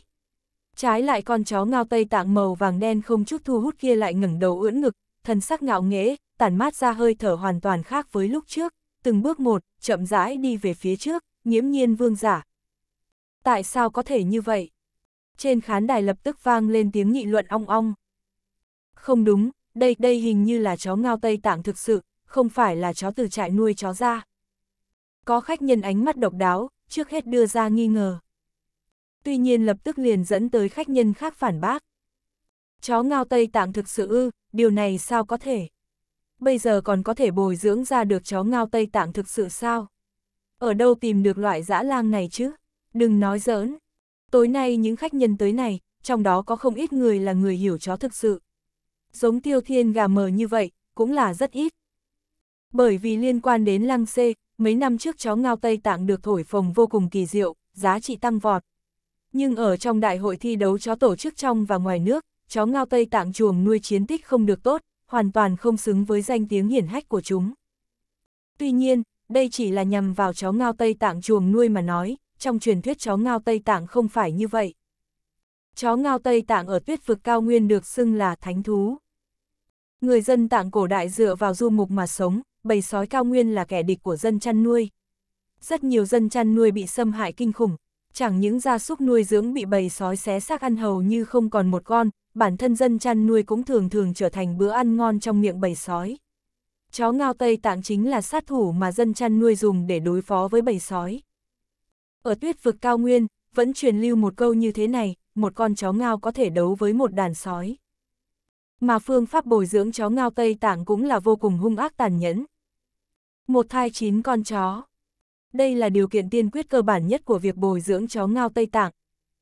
Nói cách khác, bồi dưỡng chó ngao Tây Tạng chân chính nhất định phải có một con chó mẹ, một thai sinh chín chú chó con. Chó ngao Tây Tạng bình thường mỗi lần sinh sẽ là 4 năm con chó con, nhiều hơn là 6-7 con, tình hình một thai sinh 9 con là vô cùng hiếm thấy. Vào thời điểm chín chú cho con vừa mới bắt đầu học cách ăn thịt, liền nhốt tất cả vào một cái hầm ngầm thật sâu đã được đào từ trước, mỗi ngày chỉ cấp một ít nước, không cho thức ăn. Những con chó đói khát không nhịn được vì sinh tồn chỉ có thể cắn xé lẫn nhau. Đến cuối cùng, 9 con chó chỉ còn lại một con, 8 con còn lại đã trở thành thức ăn của nó. Lúc này liền bắt đầu bón chó nó ăn thịt sói, sói sống. Những mục dân trăm phương nghìn kế bắt được một con sói còn sống bỏ vào trong hầm, làm thức ăn cho chó ngao. Ngoại trừ sói sống, chó ngao trong hầm ngầm sẽ không có thêm bất kỳ thức ăn nào khác. Hơn nữa, chỉ có thể do một người cố định ở trong hầm ngầm bón thức ăn cho chó ngao, trong quá trình quyết không thay đổi người. Người cho ăn này sẽ trở thành chủ nhân duy nhất của chó ngao Tây Tạng, trừ người đó ra, chó ngao Tây Tạng sẽ không nhận thêm bất kỳ người nào khác làm chủ nhân của nó. Cứ như vậy nuôi nấng 3 năm mới có thể có được một con chó ngao Tây Tạng trên ý nghĩa chân chính. Nghe nói, bởi vì chó sói và chó ngao Tây Tạng là kẻ địch thiên nhiên, ở đâu đào tạo chó ngao Tây Tạng, chó sói liền có thể cảm ứng được. Trước khi chó ngao Tây Tạng chưa có trưởng thành, chó sói sẽ thành quần kết đội tiến đến công kích, dốc toàn lực muốn tiêu diệt con chó ngao Tây Tạng vẫn chưa hoàn toàn trưởng thành đó. Sau 3 năm, mở hầm ra, một con chó ngao Tây Tạng chân chính liền xuất thế.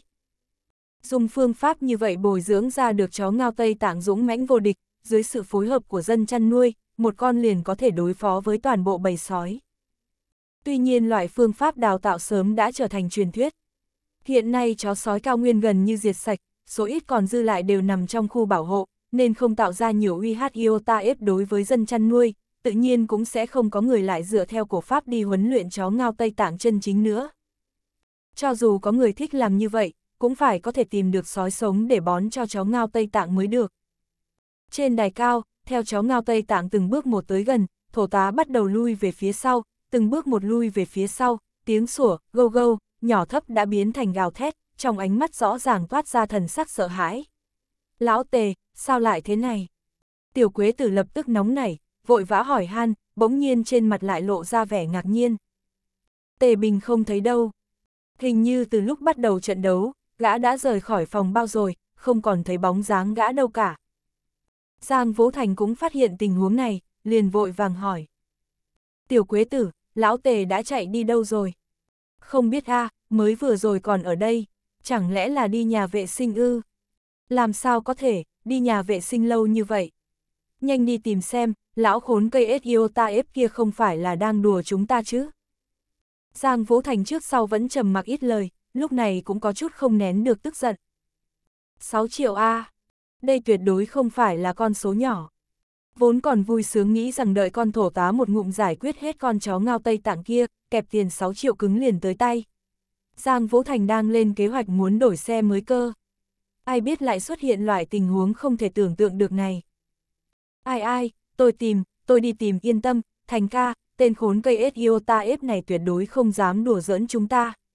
Gã dám như thế, ta sẽ lột ra gã. Tiểu Quế Tử liên tiếp nói, vội vã chạy ra ngoài phòng bao, miệng lẩm ba lẩm bẩm, lời nói rất hung ác, tuy nhiên là để cho mình thêm can đảm mà thôi. Sắc mặt của Tiêu Thiên cũng âm u, đen đến đáng sợ. Miệng không nói, nhưng trong đầu đã có dự cảm bất thường, nói không chừng Tề Bình chính là kẻ phản động. Chỉ là Tiêu Thiên có chút nghĩ mãi không ra, vô duyên vô cớ, Tề Bình từ phía nam chạy đến thủ đô phản động bọn họ để làm cái gì? Cắn A, cắn nó A. Khốn cây éo yêu ta ép, vì sao không cắn? Không khí trong phòng bao số 4 rất khẩn trương, trong bãi sớm đã ồn ào, rất nhiều người đứng dậy, lớn tiếng chửi bậy.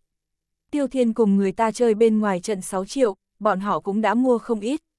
Tỷ lệ ba trọi một vốn đã làm cho người ta rất khó chịu, nghĩ tốt xấu cũng có thể thắng chút, cũng không tệ lắm.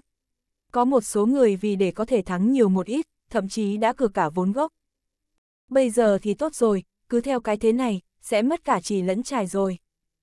Thổ tá trực tiếp bị chó ngao Tây Tạng dồn đến chân tường. Một con chó khổng lồ nổi tiếng hung hãn, lại luôn lui về phía sau. Đây là thổ tá sao? Mẹ nó, còn vô dụng hơn cả một con chó quê. Nghiêm tổng, có mở ám gì phải không? Ở đâu có chó đấu như vậy chứ? Lừa chúng ta sao? Khách nhân tính khí táo bạo rốt cục không kìm nổi chĩa mũi nhọn ngay vào nghiêm bác. Thật sự tình hình này quả thật là quỷ dị, chơi chó nhiều năm như vậy, chưa từng thấy con thổ tá nào lên trận lại có biểu hiện này. Nghiêm bác ánh mắt đảo qua, liền nhéo nhéo vị khách nhân tính khí táo bạo này, lạnh lùng nói, Phương Tổng, ông có bao giờ thấy làm trò mưu mẹo như vậy chưa? Ông có thể làm sao? Vậy ông dạy cho tôi cách làm mưu mẹo như vậy đi. Đây là chó, không phải người. Lời này trái lại cũng có lý. Hoạt động thi đấu thể thao của loài người, có khi là mưu mẹo, giả ngã giả té. Cái đó còn có thể khống chế. Làm mưu mẹo trong đấu chó, cũng không phải là không có. Bình thường đều là sức thuốc lên trên người chó đấu, giảm thấp độ mẫn cảm của chó đối với sự đau đớn trong khoảng thời gian ngắn, tăng cường sức bật, hung hãn không sợ chết. Nhưng giống loại tình hình trước mắt này, do con người làm ra thật đúng là không làm ra được. Người như thế nào mà có thể đi dạy một con chó làm bừa chứ? Như thế nào đi dạy con chó thổ tá nhìn thấy con chó ngao Tây Tạng liền cả người phát run chứ? Chó chính là chó, dù chó có thông minh đến đâu cũng nghe không hiểu tiếng người, nhiều nhất chính là nghe một chút chỉ lệnh đơn giản, đó cũng không là vì nó nghe hiểu lời nói của chủ nhân, mà là qua vô số lần huấn luyện hình thành phản xạ có điều kiện. Nếu như nói chủ nhân của chó hoặc là nhân viên công tác của trường chó có thể, thông đồng, với thổ tá để gian dối, khiến nó không chiến mà hàng, cố ý thua chó ngao Tây Tạng, thì đó chính là chuyện nghìn lẻ một đêm. Bất kể huấn luyện như thế nào, đều không thay đổi được bản tính hung hãn của chó thổ tá loại chó đấu bẩm sinh như vậy được. Trừ phi nó quả thật cảm thấy đối phương hùng mạnh, cường đại đến mức không cùng trên một đẳng cấp. Thật giống như loại tình hình hiện tại này. Thổ tá bị ép đến góc tường, không thể lui được nữa, bỗng nhiên một tiếng sủa mạnh, lao tới phía con chó ngao Tây Tạng, hai mắt màu đỏ. Loại xúc sinh này một khi bị ép, không còn đường lui, tình thế cấp bách sẽ liều mạng. Tục ngữ nói con thỏ cấp bách còn cắn người nữa là. Lại càng không cần phải nói một con thổ tá, vượt qua cấp hoành cương, dũng mãnh vô song. Tốt! Trong bãi bộc phát ra một trận hoan hô long trời lở đất. Xúc sinh này rốt cục dám đánh rồi. Bất kể như thế nào, chỉ cần đánh, thì có hy vọng. Không đánh, vậy nhất định phải thua. Nhưng mà đoàn người kích động, cũng chỉ là chuyện trong nháy mắt, mọi người liền đều ngây dại. Chỉ thấy con chó ngao Tây Tạng kia không tránh không né, nhẹ nhàng mở miệng lớn dính máu ra, một ngụm liền cắn vào bộ vị cổ họng của thổ tá, mạnh mẽ hất lên. Thổ tá khổng lồ, ầm ầm, ngã xuống đất, tứ chi ra sức gãi bới. Chó ngao Tây Tạng gắt gao cắn lấy cổ họng của thổ tá, tuyệt đối không nhả ra. Máu tươi đỏ sấm từ trong miệng nó dò dỉ chảy xuống, nhanh chóng nhuộm đỏ cả đài đấu. Thổ tá giấy ruộng nhanh chóng trở nên yếu ớt, rất nhanh liền dừng lại, cả người co quắp, sắp chết. Vô số ánh mắt định trên đài đấu, toàn hội trường đều trợn mắt há hốc mồm. Thì ra là như vậy, đây mới là sức chiến đấu của chó ngao Tây Tạng chân chính. Thì ra trong hai trận đấu trước đó, xúc sinh này chỉ là đang tập thể dục, hoặc là nói, nó giả vờ là một con heo điên. Khiến tất cả mọi người coi thường nó, trong thời khắc quan trọng nhất, mới lộ rõ ra thực lực chân chính. Không động thì thôi, một khi đã động thì nhanh như thiểm điện. Liền một ngoặc, trực tiếp chấm dứt chiến đấu. Đây mới là phong độ của vương giả thực sự. Nhị ca, không xong rồi, không tìm thấy tề bình tên khốn cây Iota ép kia đâu cả, gọi điện thoại di động gã cũng tắt máy. a à, đã kết thúc rồi. Tiểu quế tử vội vã đẩy cửa vào phòng bao, khắp mặt và đầu cổ mồ hôi đầm đìa, lắp bắp nói, tức thì liền ngẩn người, há to miệng, ngơ ngác nhìn đài đấu chó. Không nghĩ tới y đi ra ngoài một chuyến, rồi trở về liền biến thành cái dạng này. Tiêu Thiên và Giang Vũ Thành sắc mặt đều xanh mét, ngược dồn dập phập phồng. Ha ha, tốt, tốt, thật tốt quá, thật sự là quá đã a. Đám người đứng ngoài xem trong yên lặng, Diệp Đại Thiếu cười đắc ý, giọng nói có vẻ trói tai hơn bình thường, giống như cú vọ vậy, làm cho người ta cực kỳ không thoải mái. chương 142, sát tinh đợi một chút. Giang Vũ Thành không thể tiếp tục kiềm chế được, lập tức đứng dậy kêu lên. Thế này không đúng, ở bên trong có vấn đề. Hội trường lập tức hoàn toàn trở nên yên tĩnh, nhiều người trên mặt lộ ra nét hưng phấn. Trận đấu chung kết này, ở đây dường như có 6-7 người đã hạ chủ ý, cơ bản đều là người thua. Lúc đó với tình hình như thế, ai sẽ cược chó ngao Tây Tạng sẽ thắng đây? Người thua đều không ít. Chỉ là mọi người tuy rằng trong đầu có nghi vấn, lại cũng không thể ở trước mắt tất cả chất vấn, trung quy vừa rồi một nhát cắn chí mạng của chó ngao Tây Tạng thật sự đã làm cho mọi người bị dọa hết hồn. Đấy mới thực là phong độ của cẩu vương. Thổ tá với tầm vóc mạnh mẽ, tương đương với cấp Hoàng Cương mới giao đấu một hồi đã lăn ra chết ngay tại trận cấp Hoàng Cương là cấp cao nhất của vận động viên sumo ở Nhật. Cái này tuyệt đối không thể là đóng giả. Chó không phải là người. Ai có thể đem một con chó thổ tá đã trải qua dạy dỗ huấn luyện tự động đi chết, không ai có cái bản lĩnh này. Không cần nói đến chó đấu không biết đến tính người, xem như là loài người gian dối, cũng không thể đưa tính mệnh của bản thân lên đầu ngọn tháp. Đó không phải là giả heo ăn thịt hổ, đó thật sự là heo. Chỉ có thể nói, ái vị đoạn thiếu gia kia huấn luyện con chó ngao Tây Tạng này quá tốt, quả thực là vua tinh tướng. Trận đấu bảng vòng bán kết, hai con chó đấu quần chiến kịch liệt, giấu giếm tất cả mọi người, cho rằng chỉ có nó mới là trình độ tiêu chuẩn đích thực. Trực tiếp đến trận chung kết, mới thực sự thể hiện ra thực lực vương giả của nó. Giang Thiếu, mời nói một cách rõ ràng, bên trong có vấn đề gì? Nghiêm bác vô cùng nghiêm túc hỏi ngược lại. Ông ta biết Giang Vũ Thành là con ông cháu cha, trong nhà chức quan của lão già không hề nhỏ. Thế nhưng cái chất vấn này, có liên quan đến thanh danh của cả một chấn đấu chó, có liên quan đến tiền đồ của nghiêm bác ông ta, nhất định phải bắt bẻ rõ ràng. Ta tạm thời vẫn chưa biết có vấn đề gì, thế nhưng khẳng định có vấn đề, con mẹ nó, lão tề. Hừ. Giang Vũ Thành khuôn mặt trở nên đỏ bừng, rốt cục đem lời nói phía sau nuốt ngược trở vào, nổi giận đùng đùng đặt mông ngồi xuống. Thời khắc quan trọng, lão tề đột nhiên biến mất không thấy, làm cho ba người bọn họ ở nơi này gánh trách nhiệm mất 6 triệu tệ. Ở bên trong nếu như không có vấn đề, đánh chết Giang Vũ Thành cũng không tin. Nhưng mấu chốt ở chỗ, cái này anh ta nôi không ra. Tề Bình là bằng hữu cùng qua đây với bọn họ, muốn nói có vấn đề, đó cũng là vấn đề của chính bản thân họ, dường như không thể đổ lên đầu của người khác. Các ngươi kết loại bạn gì vậy? Diệp Hạo Văn cười lạnh một tiếng, nói. Tiểu Giang, chơi không nổi thì đừng chơi. Lúc thắng tiền, chúng ta không có hàm hồ, chỉ phiếu 2 triệu cho các ngươi có thiếu một phân tiền nào không? Người dường như miệng có thể nứt ra hoa sen hay sao? Thế nào, bây giờ thua rồi, muốn thoái thác sao? Muốn thoái thác cũng được, Diệp ca không cần để ý đến 2 triệu này, ngươi chỉ cần ở trước mặt mọi người nói một tiếng, Ngươi Giang Vũ Thành là người vô liêm sĩ, ta lập tức phủi mông đứng dậy đi, tuyệt đối không đòi ngươi một đồng nào. Thế nào, ta có đủ thành ý rồi chứ. Trong miệng gọi là Tiểu Giang, ánh mắt lại là thẳng tắp nhìn chăm chú vào mặt của Tiêu Thiên. Giang Vũ Thành trong mắt của Diệp Đại Thiếu gia, thật sự không được xem ra gì, Diệp Đại Thiếu để ý chính là Tiêu Thiên. Nghiêm túc mà nói, Diệp Đại Thiếu gia chính là nhìn không vừa mắt Tiêu Phàm. Ai nói Tiêu Thiên ngươi là em ruột của Tiêu Phàm? Diệp Hạo Văn, ngươi có ý gì? Giang Vũ Thành lập tức liền bốc hỏa, trong mắt trợn thật lớn. Không có ý gì, tình nguyện đánh cược tình nguyện thua. Quy định này, ai cũng phải tuân thủ, mọi người nói xem đúng hay không. Diệp Đại Thiếu gia nói rất đúng, tình nguyện đánh cược tình nguyện thua, hoàn toàn chính đáng. Lập tức đã có người phụ họa.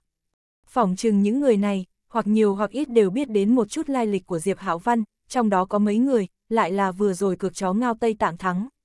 Mặc dù trước trận đấu, bọn họ cũng không tin tưởng chó ngao Tây Tạng, thế nhưng tỷ lệ một ba quả thật rất có sức hấp dẫn. Trên trường đấu chó, cái gì không ngờ đều có thể xảy ra. Thua chỉ cần một đồng, thắng liền thắng ba đồng, lấy nhỏ ăn lớn, sao lại không làm. Cửa này, ai không thừa nhận kết quả của trận đấu này, không chừng những ông chủ này sẽ lên cơn với người đó. Có một ông chủ nhiều tiền thế lớn, thế nhưng cược trên thân chó ngao Tây Tạng 500.000, mắt nhìn thấy chi phiếu cứng 1 triệu 500.000 tệ sắp đến tay, càng thêm ồn ào lớn tiếng, tận lực ủng hộ Diệp Hạo Văn. Vũ Thành, ngồi xuống. Tiêu Thiên lạnh lùng nói. Không nghi ngờ gì nữa, bọn họ đã bị Tề Bình đùa cợt rồi, thế nhưng thời điểm trước mắt không phải lúc để so đo.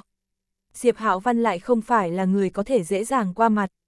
Cái gì đoạn thiếu ra, chuyên môn đưa một con ác cẩu đến, khẳng định cũng không phải là ăn chay. Không phải là rồng giữ không qua sông. Tiểu Diệp, người cũng đừng gào lên như thế, không phải chỉ là 2 triệu thôi sao? Dọa không chết người. Diệp Hạo Văn giơ ngón cái lên, nói.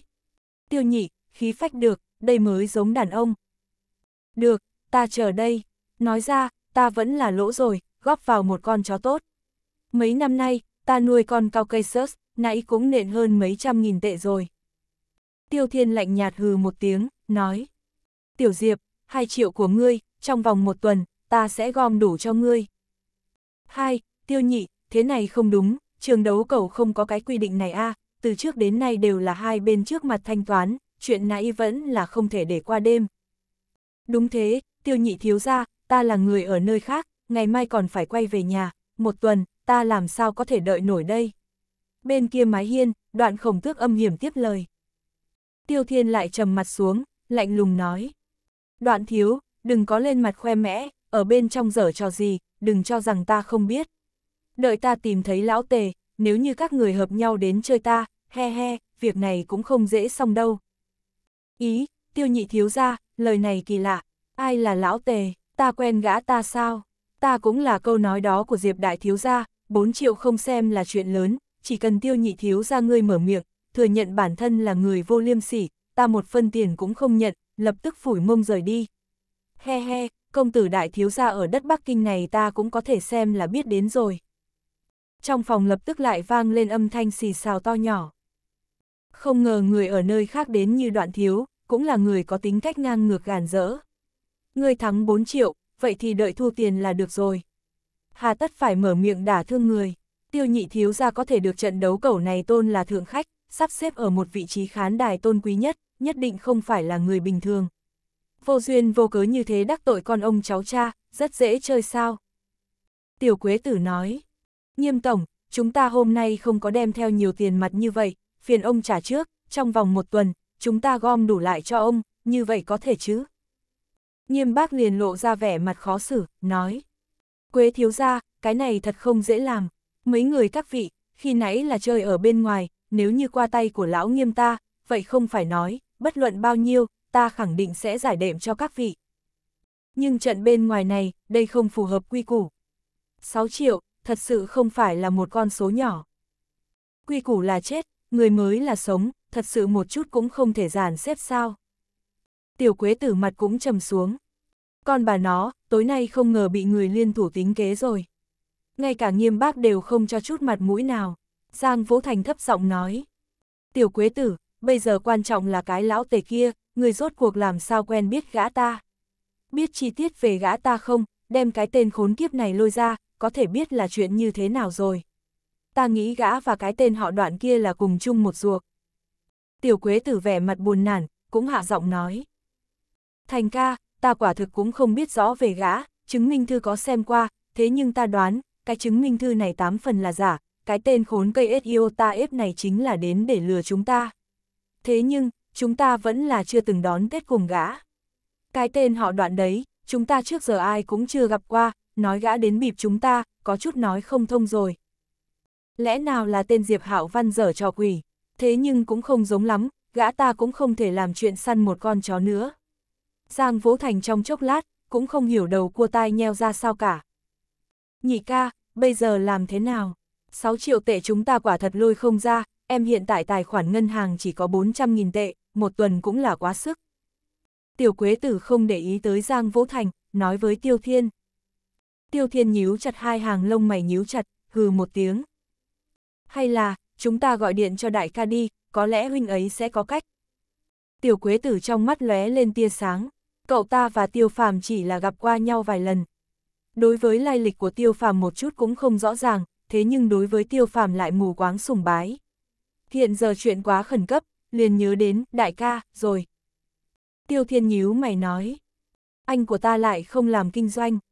Vậy, Tiểu Quế Tử cũng không có cách nào. Tiêu nhị thiếu ra, các ngươi rốt cuộc thương lượng xong chưa? Các ngươi nghi ngờ lão tề gì đó và ta dở trò, vậy tìm người ra đây, chúng ta và y đối chất.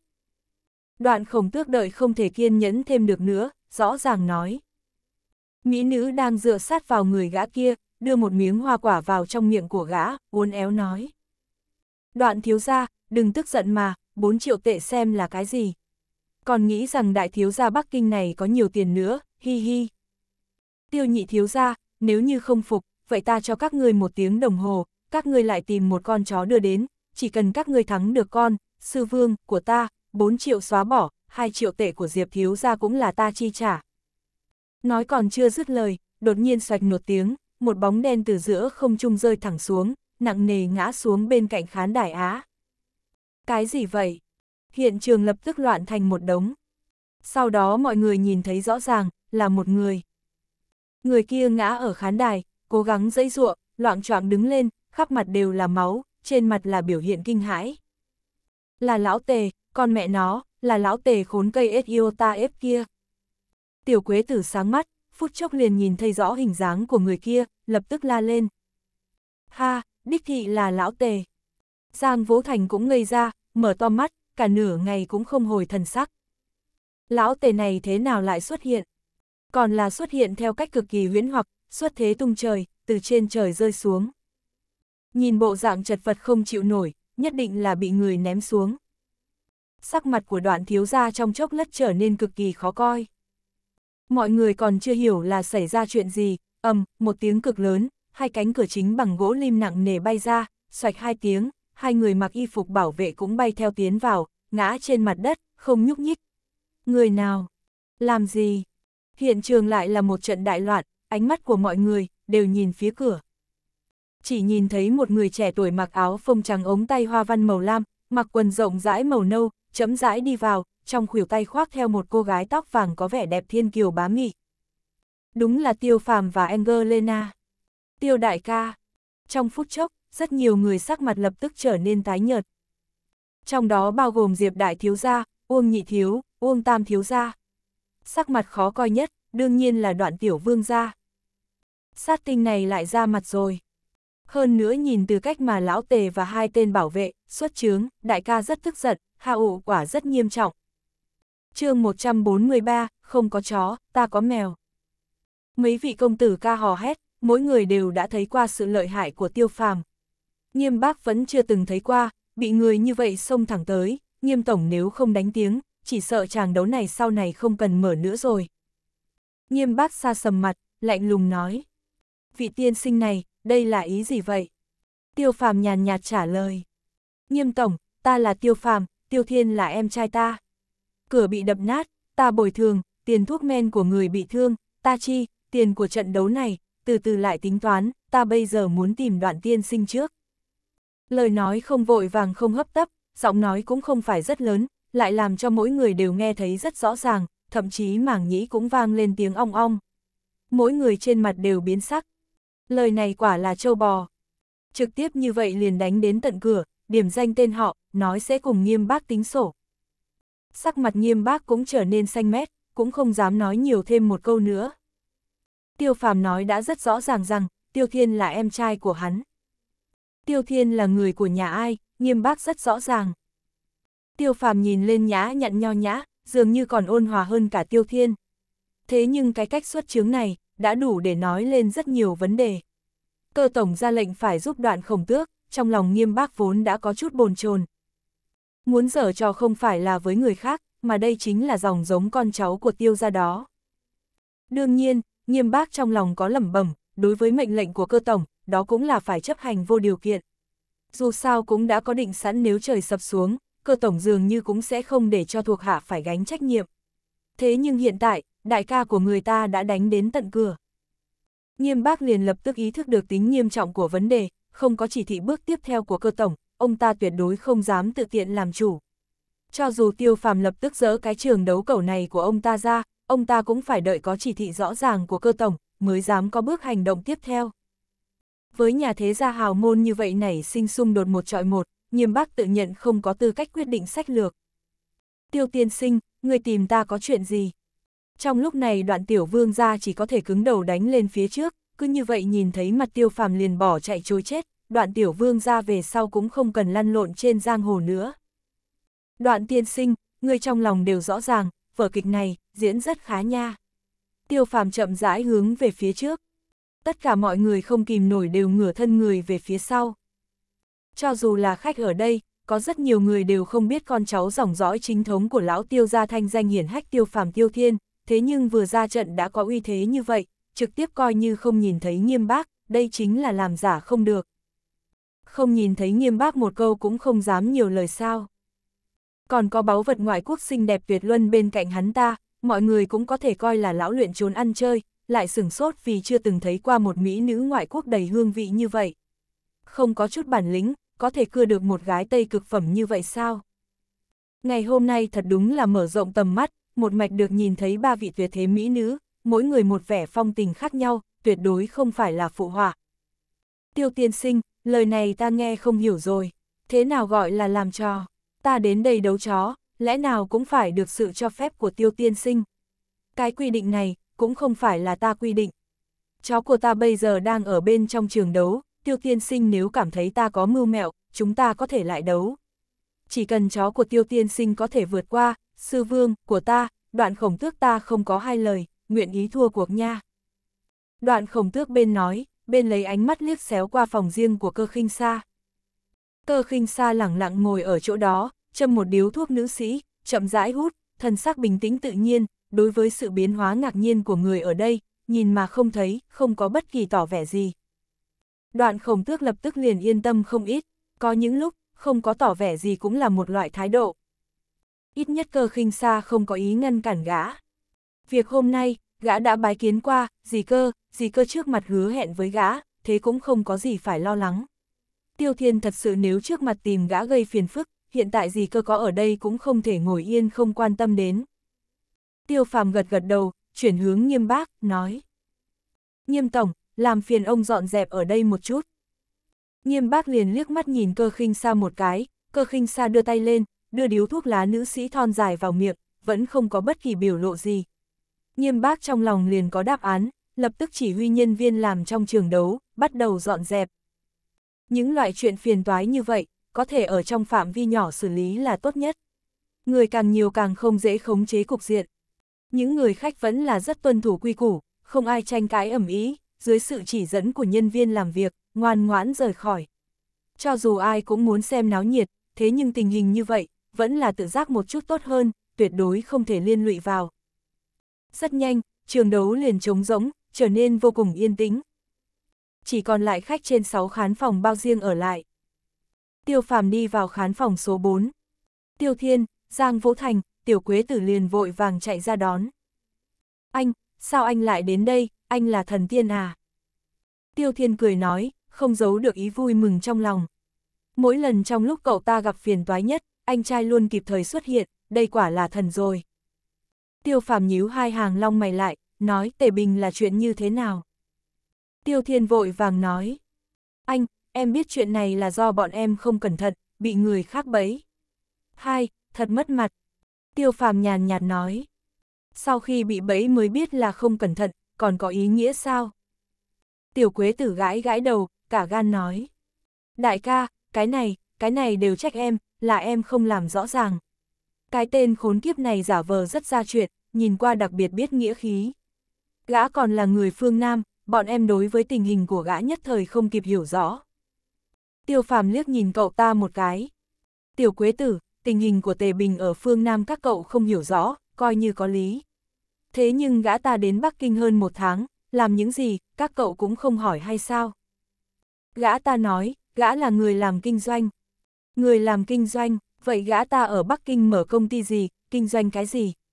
Gã ta một tháng đều đi chơi với các cậu đó, ban ngày ban đêm đều đi cùng, làm gì có người kinh doanh nào làm việc không đàng hoàng như vậy?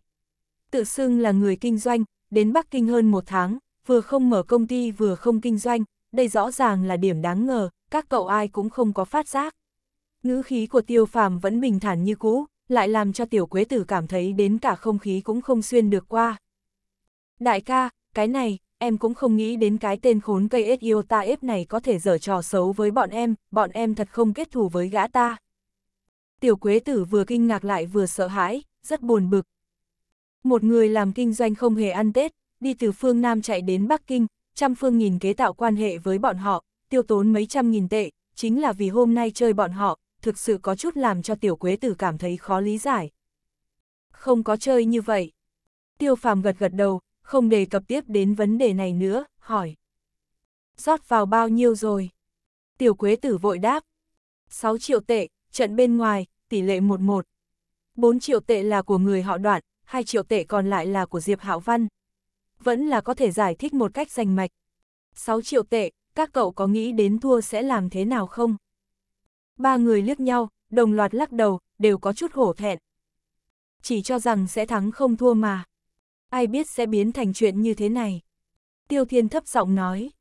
Anh, em biết sai rồi, chuyện hôm nay, anh giúp em giải quyết, sau này em nhất định sẽ chú ý. Vốn dĩ với tính cách của Tiêu Thiên, đánh chết cậu ta cũng không chịu mềm mỏng. Thế nhưng ở trước mặt Tiêu Phàm, lại liền không giống trước đó rồi. Đây là anh trai ruột của cậu ta. Tiêu phàm nhàn nhạt đáp. Có thể, có điều anh có điều kiện. Anh nói đi.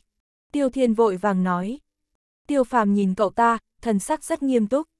Ngày mai, em về đơn vị làm thủ tục điều động, trong vòng một tuần, đi thôn Hồng Sơn trình diện. Cái này, Tiêu Thiên thật không nghĩ đến, Tiêu Phàm sẽ ra điều kiện như thế này. Tiêu Thiên, cái này anh đã nói với em rồi, hai chúng ta, cuối cùng vẫn phải có một người làm cho cha yên tâm mới được.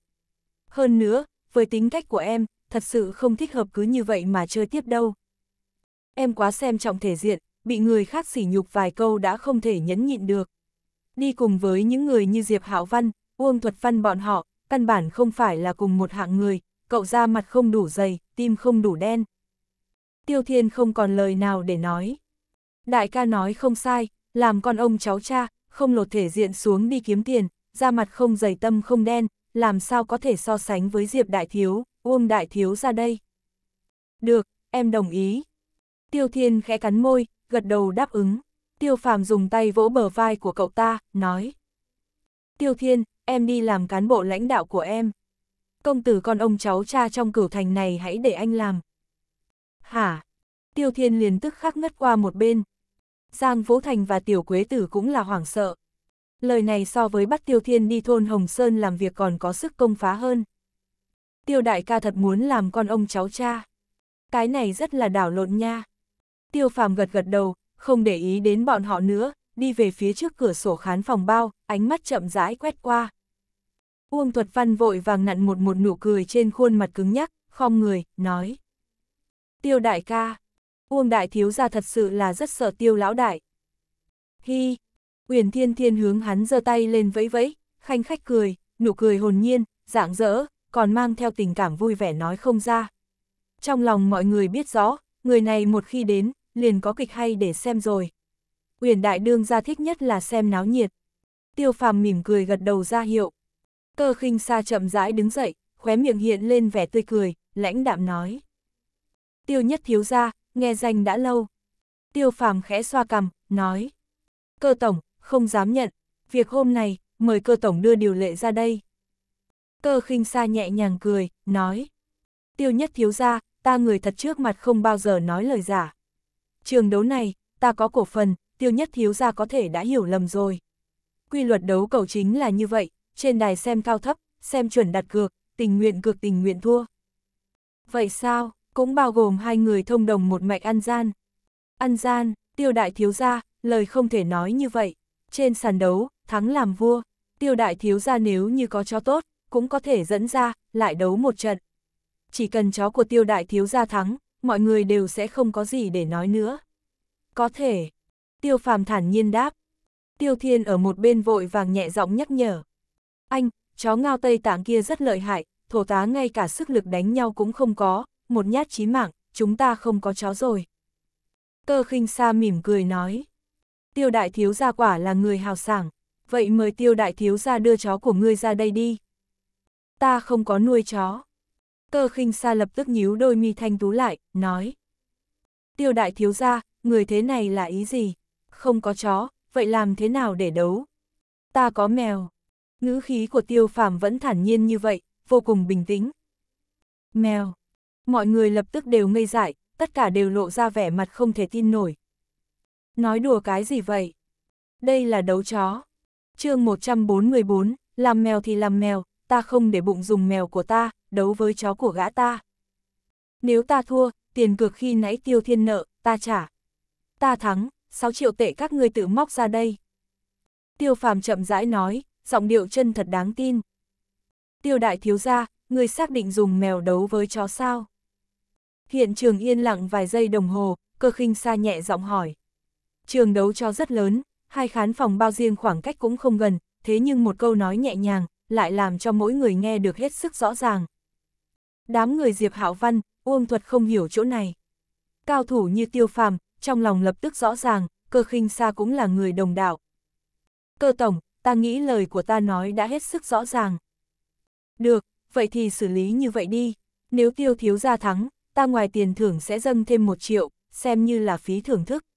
Mèo và chó đấu nhau, hơn nữa lại là đấu với quán quân chó ngao Tây Tạng, quả thật đáng giá với số tiền, phí thưởng thức rồi. Uông Thuật Văn bỗng nhiên nói xen vào. Tiêu nhất ca, hay là, ta cũng góp vào cuộc vui. Ta thêm 2 triệu, có điều không phải là phí thưởng thức, mà là đặt cược. Ta không có nhiều tiền thế lớn như cơ tổng, he he. Cho dù tiêu phàm châu bò đấy, thế nhưng Uông Thuật Văn vẫn là không thật sự tin tưởng, trên thế giới này có loại mèo có thể đánh thắng chó ngao Tây Tạng. Dù cho tiêu phàm đem đến một con, mảnh khảnh cũng được. Chó nhỏ thật sự, hình thể nhỏ một chút, sức chiến đấu tuyệt đối không kém, tin đồn con chó nhỏ đánh bại con chó lớn cũng không ít. Thế nhưng, mèo, cái này quả thật khó làm cho người khác tin phục.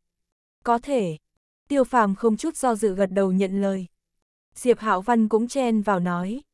Tiêu thiếu ra, đừng trách Diệp Hạo Văn ta lắm miệng, đây đều gần 10 triệu tệ rồi, có phải nên có một cái đảm bảo hay không? Ngươi đừng giống như em trai ngươi cùng nhau thoái thác. Ta đảm bảo. Tiêu phàm chưa trả lời, Uyển Thiên Thiên cười hì hì mở miệng. Diệp đại thiếu ra phải không? Tất cả tiền đặt cược của tiêu nhất thiếu đều do ta đảm bảo. Diệp Hạo Văn liền cười, híp mắt lên, nhìn về hướng Uyển Thiên Thiên, thản nhiên hỏi. Tiểu muội muội, ngươi lại là vị nào vậy? Ta ngay cả ngươi là ai cũng không biết, ngươi dựa vào cái gì đảm bảo? Ngươi đảm bảo cho tiêu phàm, ai cho ngươi đảm bảo? Uyển Thiên Thiên thoáng nhìn lướt qua, Diệp Hạo Văn không kìm nổi trong lòng phát lạnh với ánh mắt của cô gái nhỏ này, làm sao có thể bỗng nhiên lạnh như vậy? Giống ánh mắt sao gờ yêu ta ết người. Nghiêm tổng, người nói một câu đi, ta đảm bảo cho tiêu thiếu gia, có được hay không? Uyển Thiên Thiên không để ý đến gã ta nữa, trực tiếp hỏi nghiêm bác, vẫn là cười hì hì. Nghiêm bác liền cười khổ. Bà cô nhỏ ta dám nói không được sao, bằng không, cô liền dỡ cái trường đấu chó này của ta rồi. Có thể, đương nhiên có thể. Nghiêm bác một chàng nói liên tiếp. Uyển Thiên Thiên liền gật gật đầu nói với Diệp Hạo Văn. Diệp đại thiếu gia, cái này ngươi có thể yên tâm rồi chứ? Ai nha, đúng là đáng tiếc, không có ai tình nguyện nhận đặt cược của ta. Cơ khinh xa khẽ cười nói. Thiên thiên, ngươi muốn đặt cược thế nào? Ta đương nhiên là cực tiêu đại thiếu gia thắng rồi. Thực ra thua cũng không sao, ta thích nhất là trai đẹp, nhất là trai cực đẹp nói năng hoành tráng, chính là niềm yêu thích lớn nhất của ta. Uyển Thiên Thiên cười dài nói, một chút cũng không đỏ mặt. Hai, Ozerlena, anh chàng đẹp trai này thế nào, có phải rất tuyệt vời không? Cực kỳ tuyệt vời. Ozerlena yêu kiều đáp, từ đầu đến cuối đều gắt gao dựa sát bên cạnh tiêu phàm, dáng vẻ tràn đầy hạnh phúc, quả thực làm cho người ta phải đố kỵ. Cơ khinh xa khẽ lắc đầu, thở dài một hơi nói. Thiên thiên, ta với người đánh cuộc đi. Được đó, được đó, nếu như ngươi thua rồi, cái khác ta không cần, chỉ cần cái bản trang điểm năm tái sơ kia của ngươi. Uyển Thiên Thiên lập tức chụp tay đến, càng thêm phần ngây thơ mơ mộng. Cơ khinh xa lập tức trừng mắt lên, cả giận nói. Ngươi muốn nằm mơ ban ngày. Tái sơ, là niên hiệu thứ nhất mà tắc thiên đại thánh hoàng đế lâm triều xương đế dùng. Bàn trang điểm đó của cơ khinh xa nghe nói chính là sau khi võ tắc thiên chính thức xưng đế, nội phủ vì chúc mừng nữ hoàng đăng cơ mà đặc chế ra bàn trang điểm long phượng được xem là niềm yêu thích nhất của cơ khinh xa. Uyển thiên thiên đỏ mắt đã lâu rồi. Tỷ, ngươi đáp ứng với ta đi, dù sao cơ hội thắng của ngươi là rất lớn, người ta chỉ có một mèo, ngươi xem ngươi đi, chó lớn biết bao nhiêu, phải không? Một miếng liền thù tiêu thổ tá rồi, thế này đều không thắng được, đoạn đại thiếu gia, người có thể đi chết được rồi. Mắt thấy cô và cơ khinh xa quấy rối rất hăng, không dự đoán được cuối cùng lời nói lại xoay chuyển, trực tiếp hướng về phía đoạn khổng tước. Khuôn mặt hung hăng của đoạn khổng tước trong phút chốc liền trầm xuống, trong mắt lộ ra tia hung dữ. Thiên thiên, cơ khinh xa dường như đã có chút không vui, hai hàng lông mày nhíu lại. Uyển thiên thiên không thèm để ý chút nào, cười đùa nói. Sao thế, ta nói không đúng sao? Đoạn tiểu vương ra, đừng có xông tới chừng mắt với ta. Ta không phải là tiêu thiếu gia, phong độ tốt như thế, độ lượng lớn như thế, ta là người đại nhỏ nhen. Ngươi còn xông đến chừng mắt với ta, có tin ta sẽ móc tròng mắt của ngươi ra không? Vẫn là cười yểu điệu như thế, thế nhưng trong lòng mỗi người đều toát ra một cỗ khí lạnh, giống như ai cũng đều biết, Uyển Thiên Thiên không phải đang nói đùa. Đoạn khổng tước càng biết là cô không nói giỡn. Mặc dù gã vẫn không thể xác định được thân phận thực sự của Uyển Thiên Thiên, thế nhưng chỉ cần dựa vào thần thái thân quen giữa cô và cơ khinh xa, liền biết nhà đầu này không đơn giản, tuyệt đối không phải là con cháu nhà quan hay nhà giàu mới nổi, ỉ vào quyền thế trong nhà để càn quấy. Loại, con cháu, này, trong mắt của cơ khinh xa chẳng xem là cái gì. Tỷ, cứ nói như vậy là được rồi. Nếu như ta thua rồi, cái vòng tay bảy màu kia thuộc về tỷ, thế nào, tỷ không lỗ chứ? Cơ khinh xa nghiêm túc hỏi. Thiên thiên, là ngươi nói đó. Đương nhiên là thật rồi, ta lừa ai cũng không dám lừa tỷ nha. Cơ khinh xa liền cười nói. Được, một lời đã định. Nhà đầu này não chắc chắn bị nhúng nước rồi, không ngờ còn chơi lớn như vậy. Cái vòng tay bảy màu kia của Uyển Thiên Thiên giá trị tuyệt đối không dưới cái bàn trang điểm tái sơ kia của ả. À. Từ trước tới nay đều là thứ yêu thích nhất của Uyển Thiên Thiên. Chẳng lẽ thỏi son đỏ này bỗng dưng động xuân tình, nhìn chúng công tử bột tiêu phàm kia rồi. Cơ khinh xa quả thật có chút không dám tin. Đây là Uyển Thiên Thiên sao? Đệ nhất ma nữ giang hồ. Lại nhìn anh chàng đẹp trai có vận đào hoa đang nở rộ, bị lọt vào mắt của đệ nhất ma nữ kia, lại là một thần sắc bất đắc dĩ, thế nhưng cũng không có ngăn cản huyền Thiên Thiên làm. Hơn nữa, cho dù tiêu phàm có muốn ngăn cản, cũng chưa chắc có thể ngăn cản được. Tiểu Diệp, yên tâm rồi chứ. Nếu như nghiêm tổng đã khẳng định đảm bảo, vậy có thể, ta liền mỏi mắt mong chờ rồi, xem xem kỳ tích sẽ xảy ra như thế nào đây. Diệp Hạo Văn vẻ mặt là thần sắc thoải mái. Thực ra tất cả mọi người đều rất hiếu kỳ. Tiêu Thiên Hạ giọng nói. Anh, anh không nói đùa chứ. Cậu chưa từng thấy qua Hắc Lân, cho dù đã từng nhìn thấy tuyệt đối cũng không thể cho rằng một con mèo có thể đánh lại một con chó chiến đấu, hơn nữa lại là một quán quân chó ngao Tây Tạng. Tiêu Thiên mặc dù chưa từng chứng kiến cuộc thi đấu chó quốc tế thật sự, thế nhưng nghĩ đến chó ngao Tây Tạng đó của đoạn khổng tước, cũng cho rằng trong vòng đấu chó hạng nhất quốc tế cũng nhất định sẽ vô cùng hấp dẫn ánh mắt của mọi người. Tiêu phàm không lên tiếng, buông một tay, Hắc Lân đứng ở dưới chân hắn nhân lúc nhàn rỗi liền chui vào trong lòng hắn, nheo mắt lại, hưởng thụ sự vuốt ve của tiêu phàm, vẫn là bộ dạng lười biếng như cũ. Đoạn khổng tước đứng dậy, chắp tay nói với bốn phía xung quanh. Chư vị đều nhìn thấy rồi, cuộc thi đấu này không phải do họ đoạn tôi đưa ra, người phá hỏng quy củ cũng không phải tôi. Cơ khinh xa nhàn nhạt nói. Đoạn công tử, nếu ngươi đã đến nơi này, mọi người đều là khách của cơ khinh xa ta. Ta sẽ đảm bảo công bằng, bất kể là ai cũng đều phải tuân thủ quy tắc. Đoạn khổng tước liền âm thầm thở phào một cái. Chỉ cần cơ khinh xa trước sau đều là thái độ này, trong lòng gã cũng xem như có chút nhẹ nhõm. Đoạn khổng tước vốn là tính tình bướng bỉnh không chịu khuất phục, nhưng đối mặt với tiêu phàm, trong lòng gã thực tế là hoang mang lo sợ.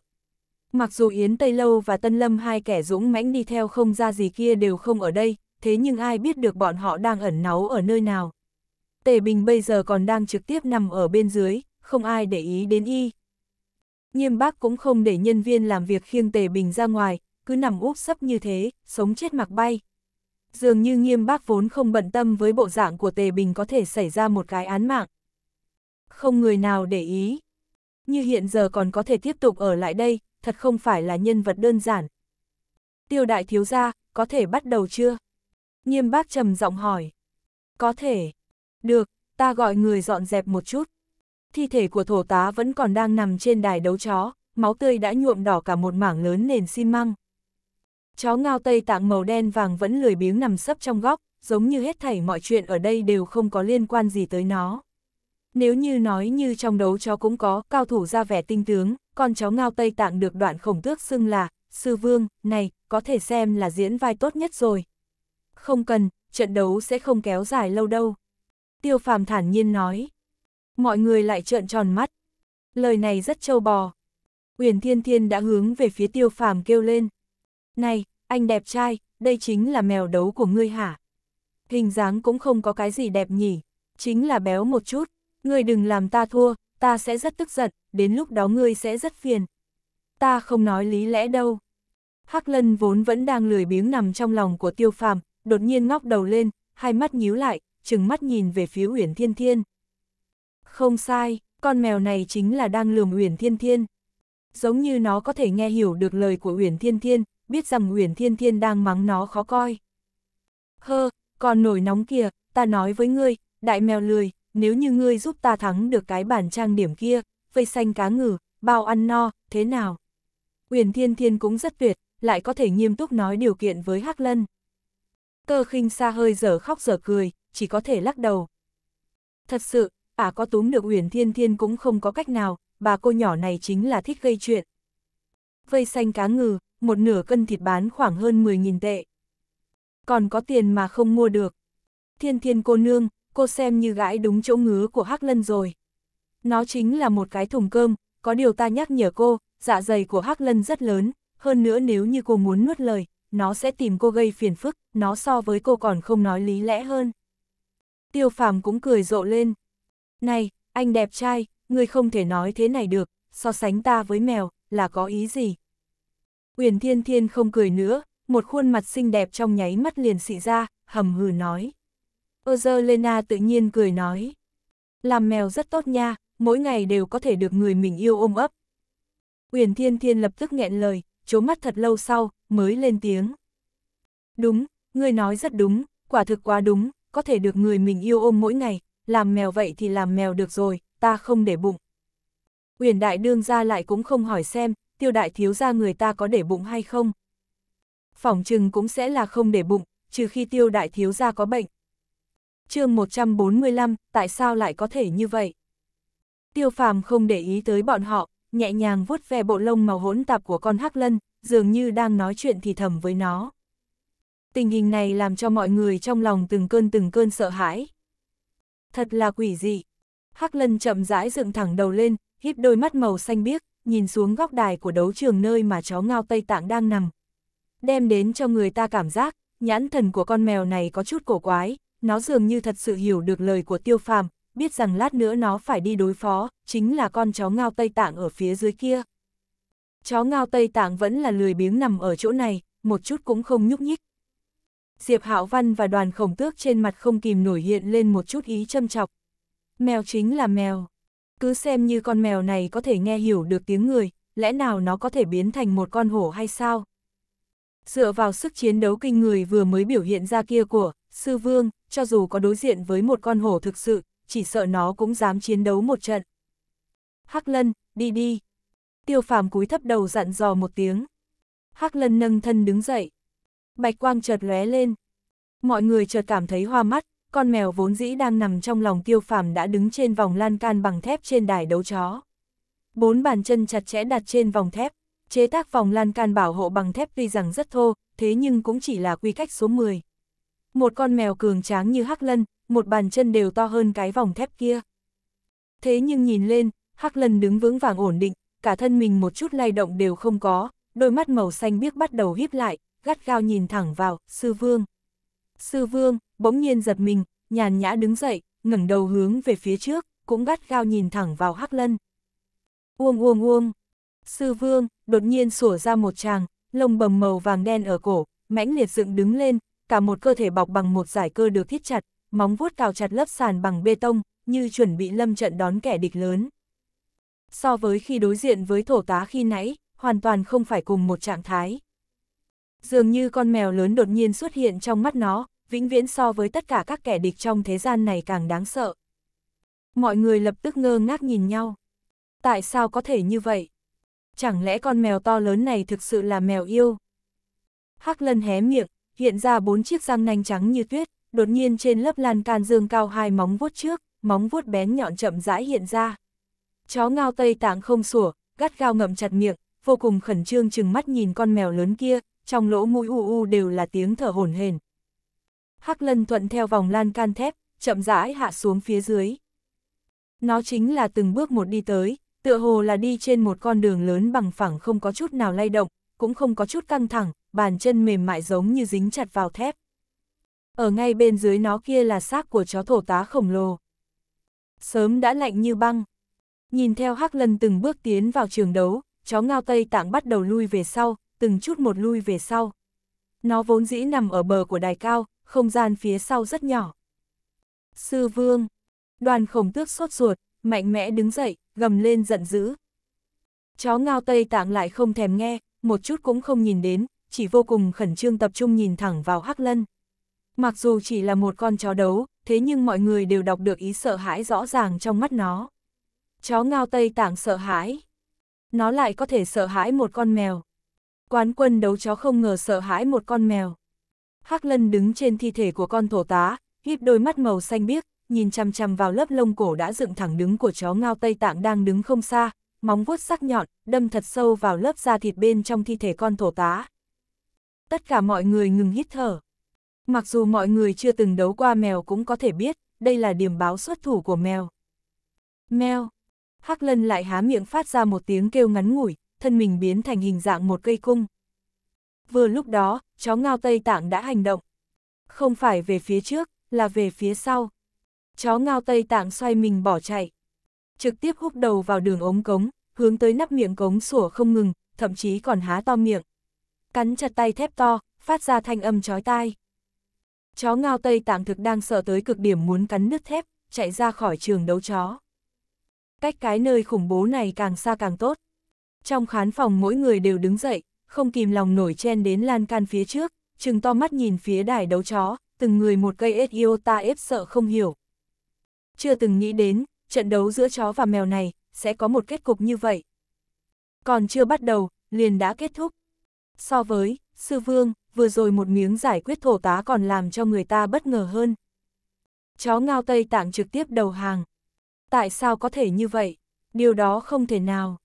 Đoạn khổng tước thất thanh hô to, mồ hôi từng giọt rơi xuống. Gã không phải sót tiền, mấy triệu đối với đoạn tiểu vương gia mà nói, không phải là chuyện lớn.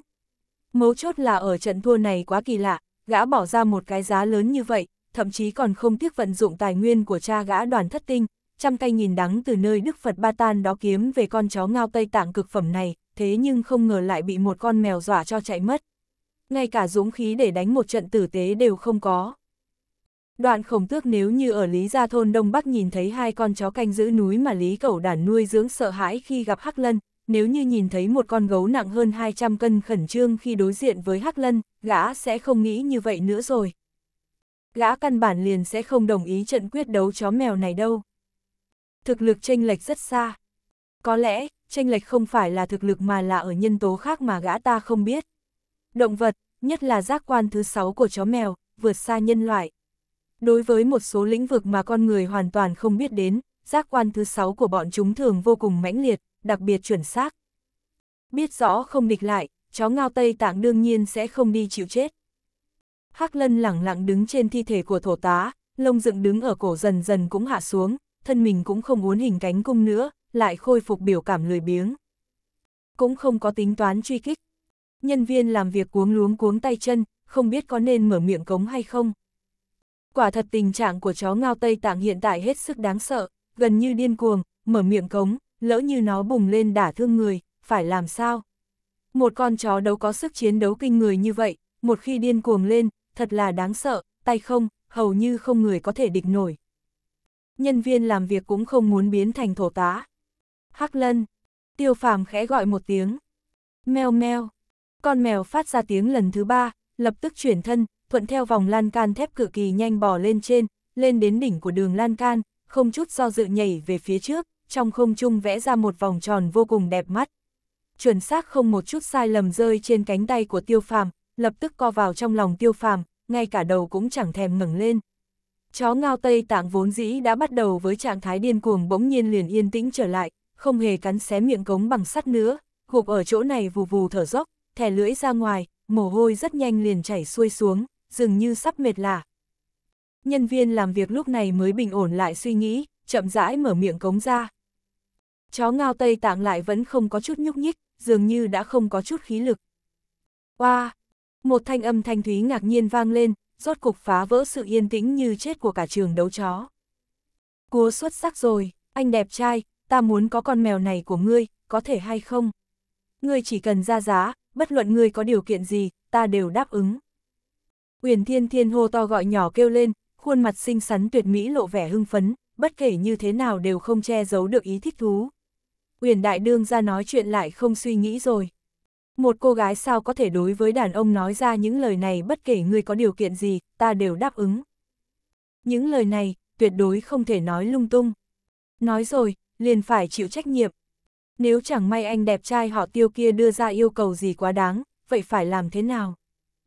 Một con mèo đổi lấy một báu vật vô song có vẻ đẹp thiên kiều bá mị, món này, hình như không khó tính toán. Tiêu phàm cười mà không nói, nhìn về phía khán đài phòng bao của cơ khinh xa. Cơ khinh xa cười khổ một tiếng, khe khẽ thở dài, nói. Tiêu đại thiếu gia, người thắng rồi. Ta biết. Tiêu phàm mỉm cười nói. Hiện tại, mời chư vị thực hiện lời hứa của mình. a à, tiểu quế tử va giang vỗ thành bỗng nhiên nhảy dựng lên. Ngay tại trong khán phòng bao xoay mông, trong miệng, tình thịt sát sát thình thịt sát sát, nhảy theo điệu disco audition, hoa chân múa tay vui sướng, không thể kìm được niềm vui sướng. Diệp Hạo Văn xanh mặt, móc sách trong túi ra, lau lau viết vài nét bút, xé ra, lật tay đưa cho nhân viên làm việc vừa mới tiến vào phòng bao, không nói một lời, phẩy tay áo bỏ đi. Ngày hôm nay, lại bị tên, đạo sĩ, họ tiêu này đùa bỡn. Còn mèo kia của hắn là loại mèo tinh gì? Diệp Hạo Văn đánh chết cũng không chịu tin, là Hắc Lân đánh thắng chó ngao Tây Tạng, một con mèo làm sao có thể dọa lui một quán quân đấu cẩu chứ? Bên trong nhất định có mở ám, nói không chừng lại là tiêu phàm dở trò. Loại, đạo sĩ, này, đều thích giả thần giả quỷ. Hiểu tà pháp, mẹ, Uông Thuật Văn cũng là một tiếng chửi nhỏ, ký xét, nhổ một bãi trên mặt đất, oán độc trừng tiêu phàm một cái, cùng với Uông Phi, quay người rời đi, không hề dừng lại. Uông Đại Thiếu Gia, Uông Tam Thiếu Gia và Diệp Đại Thiếu Gia là cùng một tâm tư như nhau. Khẳng định lại bị tiêu phàm đùa bỡn. Chỉ có điều ngay trước mặt tiêu phàm, Uông Nhị Uông Tam cũng không dám nổ cánh.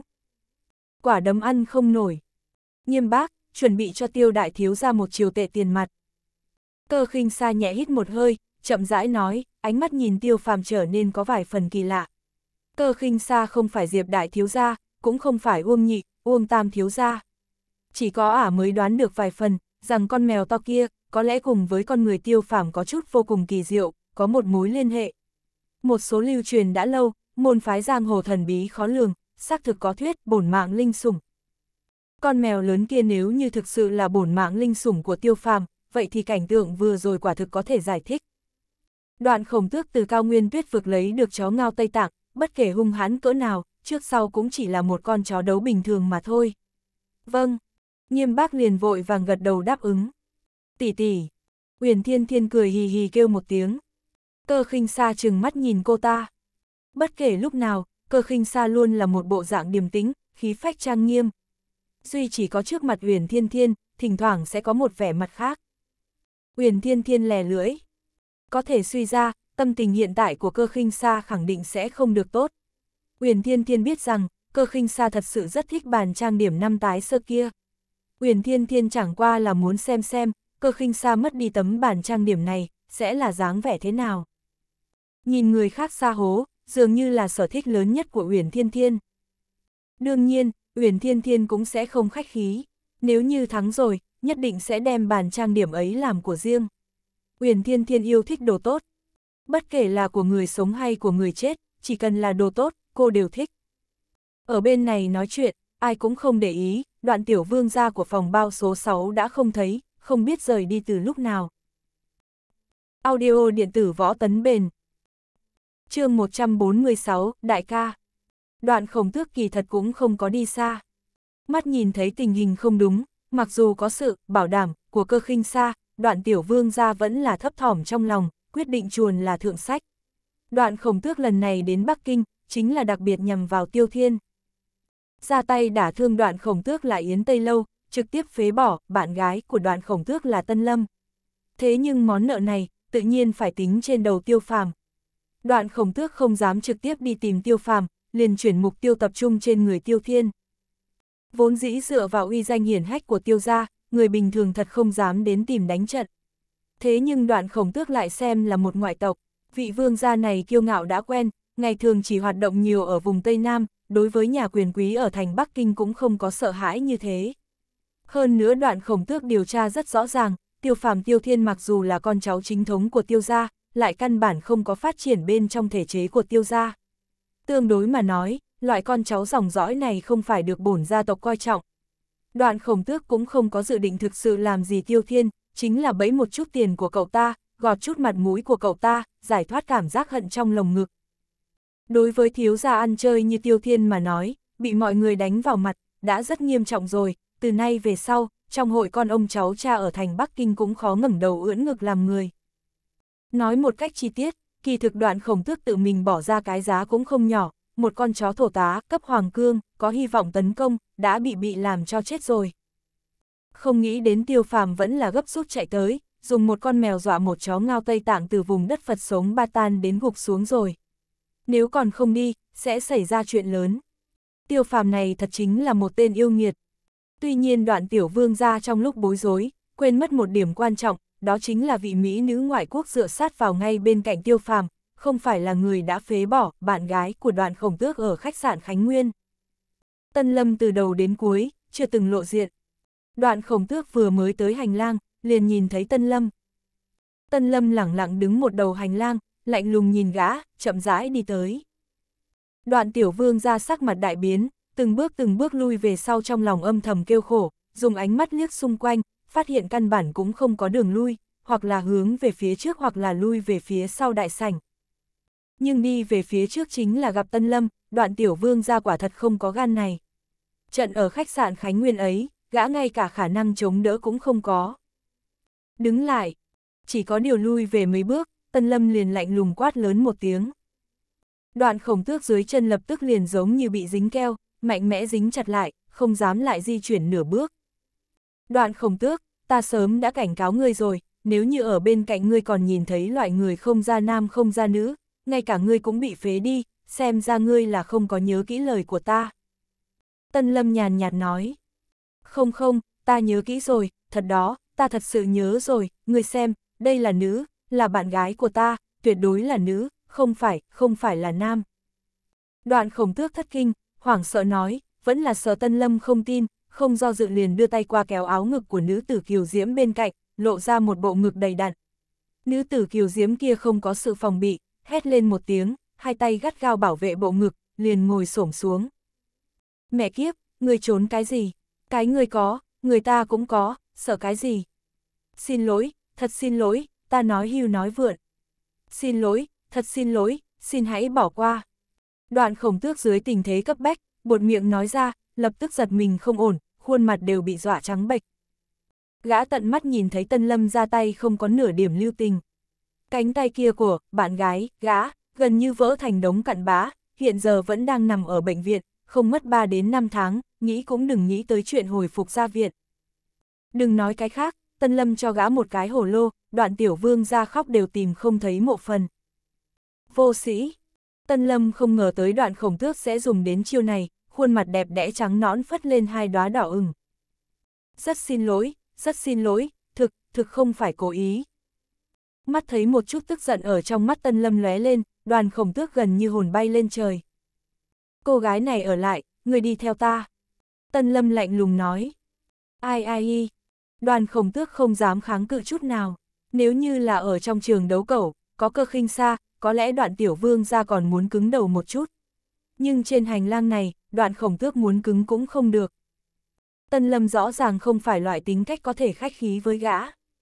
Về phần cùng Tân Lâm đi sau đó có kết cục như thế nào, đoạn khổng tước cũng không có thời gian để suy nghĩ. Không đi cùng Tân Lâm, cửa ải trước mắt này gã liền không có cách nào để qua. Rất nhanh, một chiếc Mercedes-Benz loại mới cứng nhanh chóng rời khỏi trường đấu cẩu. Lần này là Tiêu Phàm tự mình lái xe, Ozerlena ngồi ở ghế phụ bên cạnh, Tiêu Thiên cùng với Hắc Lân ngồi ở phía sau. Hắc Lân nằm sấp một cách lười biếng, thỉnh thoảng liếc mắt nhìn Tiêu Thiên bên cạnh, nhìn đến khi Tiêu Nhị ca cả người đều nổi da gà. Giống như tất cả mọi người, Tiêu Nhị ca cũng cho rằng đây là mèo yêu. Trăm phần trăm là mèo yêu. Một quán quân chó ngao Tây Tạng giữ như vậy, đột ngột bị dọa cho cong đuôi chạy mất. Anh, xe này là vừa mới mua ư. Tiêu Thiên không có lời liền tìm lời để nói, trốn ánh mắt của Hắc Lân. Âm mh. hát. Hay, thật lợi hại, đáng 2 triệu tệ chứ. Anh, anh lấy đâu ra nhiều tiền thế? Tiêu Thiên hỏi hỏi, thực có hứng thú, tạm thời ném con mèo yêu kia qua một bên. Trong cái khoang xe tối thui này, nhìn nhau với đôi mắt xanh biếc của con mèo yêu kia, hương vị thật sự không ra gì. Ta đã bán đi một món đồ chơi nhỏ. Đồ chơi nhỏ, món đồ chơi nào mà đáng tiền như vậy, có thể đổi một chiếc xe Mercedes-Benz. Anh, lẽ nào trước đây anh ở nhà máy Ngọc Lưu Ly đưa về món đồ chơi gì, thật sự là một cổ vật. Tiêu Thiên rốt cuộc nhớ lại, dường như mười mấy năm trước, khi cậu còn đang học trung học, anh trai dẫn cậu đi bộ đến nhà máy Ngọc Lưu Ly, thường thường đào một hai món đồ chơi. Lúc đó Tiêu Thiên thực sự không thể hiểu nổi, anh trai sao lại nỡ dùng tiền tiêu vặt đi đổi mấy đồ gì xét loang lỗ đó, còn vương vết đất đó. Sau này đồ cổ dần dần khởi sắc, Tiêu Thiên mới mơ hồ cảm thấy, mấy đồ vật anh trai năm đó đảo về kia, nói không chừng là đồ cổ. Thế nhưng ý nghĩ như vậy, cũng chỉ là lướt qua, không có bận tâm nghĩ nhiều. Tiêu Thiên, những việc này em đừng để ý nữa, thứ đồ cổ này, coi trọng tính lĩnh hội, còn cần có sư phụ tốt đưa vào cửa. Sau này em đi Hồng Sơn, đừng có bận tâm về chuyện tiền, cần dùng tiền, thì gọi điện thoại cho anh, anh nghĩ cách, em làm việc cho tốt là được rồi. Tiêu phàm không vội vàng không hấp tấp dặn dò. Tiêu Thiên lập tức liền dơ bộ mặt buồn khổ ra, thầm nói. Thật sự phải đi Hồng Sơn ư? Đương nhiên. Được rồi, đi thì đi, nam tử hán đại trượng phu, một lời nặng ngàn vàng. Tiêu Thiên cuối cùng cũng hạ quyết tâm. Hơn một tiếng đồng hồ sau, xe chạy vào trong thành Bắc Kinh, Tiểu Quế Tử và Giang Vũ Thành lái xe cải trang xe thương vụ, gắt gao đi theo ở phía sau. Điều làm Giang Vũ Thành và Tiểu Quế Tử không ngờ tới chính là Tiêu Đại ca không có trực tiếp đuổi bọn họ đi, mà là đi một quán cà phê cách quán ba tinh nữ không xa. Tiêu Đại ca mời bọn họ uống cà phê. Giang Vũ Thành, Tiểu Quế Tử quả thật mừng rỡ. Bọn họ hiện giờ, đối với Tiêu Phàm thực sự bội phục sát đất. Ở chỗ ngồi của mình trong quán cà phê, Tiêu Phàm lấy trong túi ra mấy tấm séc, thêm vào 4 triệu tệ lấy được trên người Tề Bình, hiện tại trên người Tiêu Phàm có tổng cộng 12 triệu tiền mặt, cộng thêm 1 triệu tiền thưởng của cơ khinh xa, tối nay sau mấy trận đấu cẩu, tổng cộng có 13 triệu doanh thu. Đây, mỗi người 2 triệu. Tiêu Phàm vì tay lấy ba tờ séc phân phát ra, Tiêu Thiên, Giang Vũ Thành, Tiểu Quế Tử mỗi người 2 triệu. Cái này, cái này, đại ca, cái này sao có thể được, đây là do anh thắng được, chúng em sao dám lấy. Tiểu Quế Tử sợ ngây người, một lúc sau mới lắc loạn hai tay, luôn miệng nói. Giang Vũ Thành cũng là liên tục chối từ. Tiêu Phàm cười cười nói. Cầm đi, sau này Tiêu Thiên đến nơi khác làm việc, các cậu có việc gì, có thể tìm ta. Tiểu Quế Tử lại một lần nữa trợn mắt hà hốc mồm, một lát sau mới thử thăm dò, nói. Đại ca, anh, anh là nói, sau này, anh đưa bọn em cùng đi chơi. Vẻ mặt nửa tin nửa ngờ, thần thái nửa mừng nửa lo. Tiêu phàm cười nói, đúng, ta muốn đổi một phương thức sinh hoạt mới. Số tiền này, xem như là lễ ra mắt của ta với mọi người, sau này có khó khăn gì, cứ nói ra. a tiểu quế tử hoan hô lên, khiến cho tất cả khách trong quán cà phê này đều nhìn sang phía này.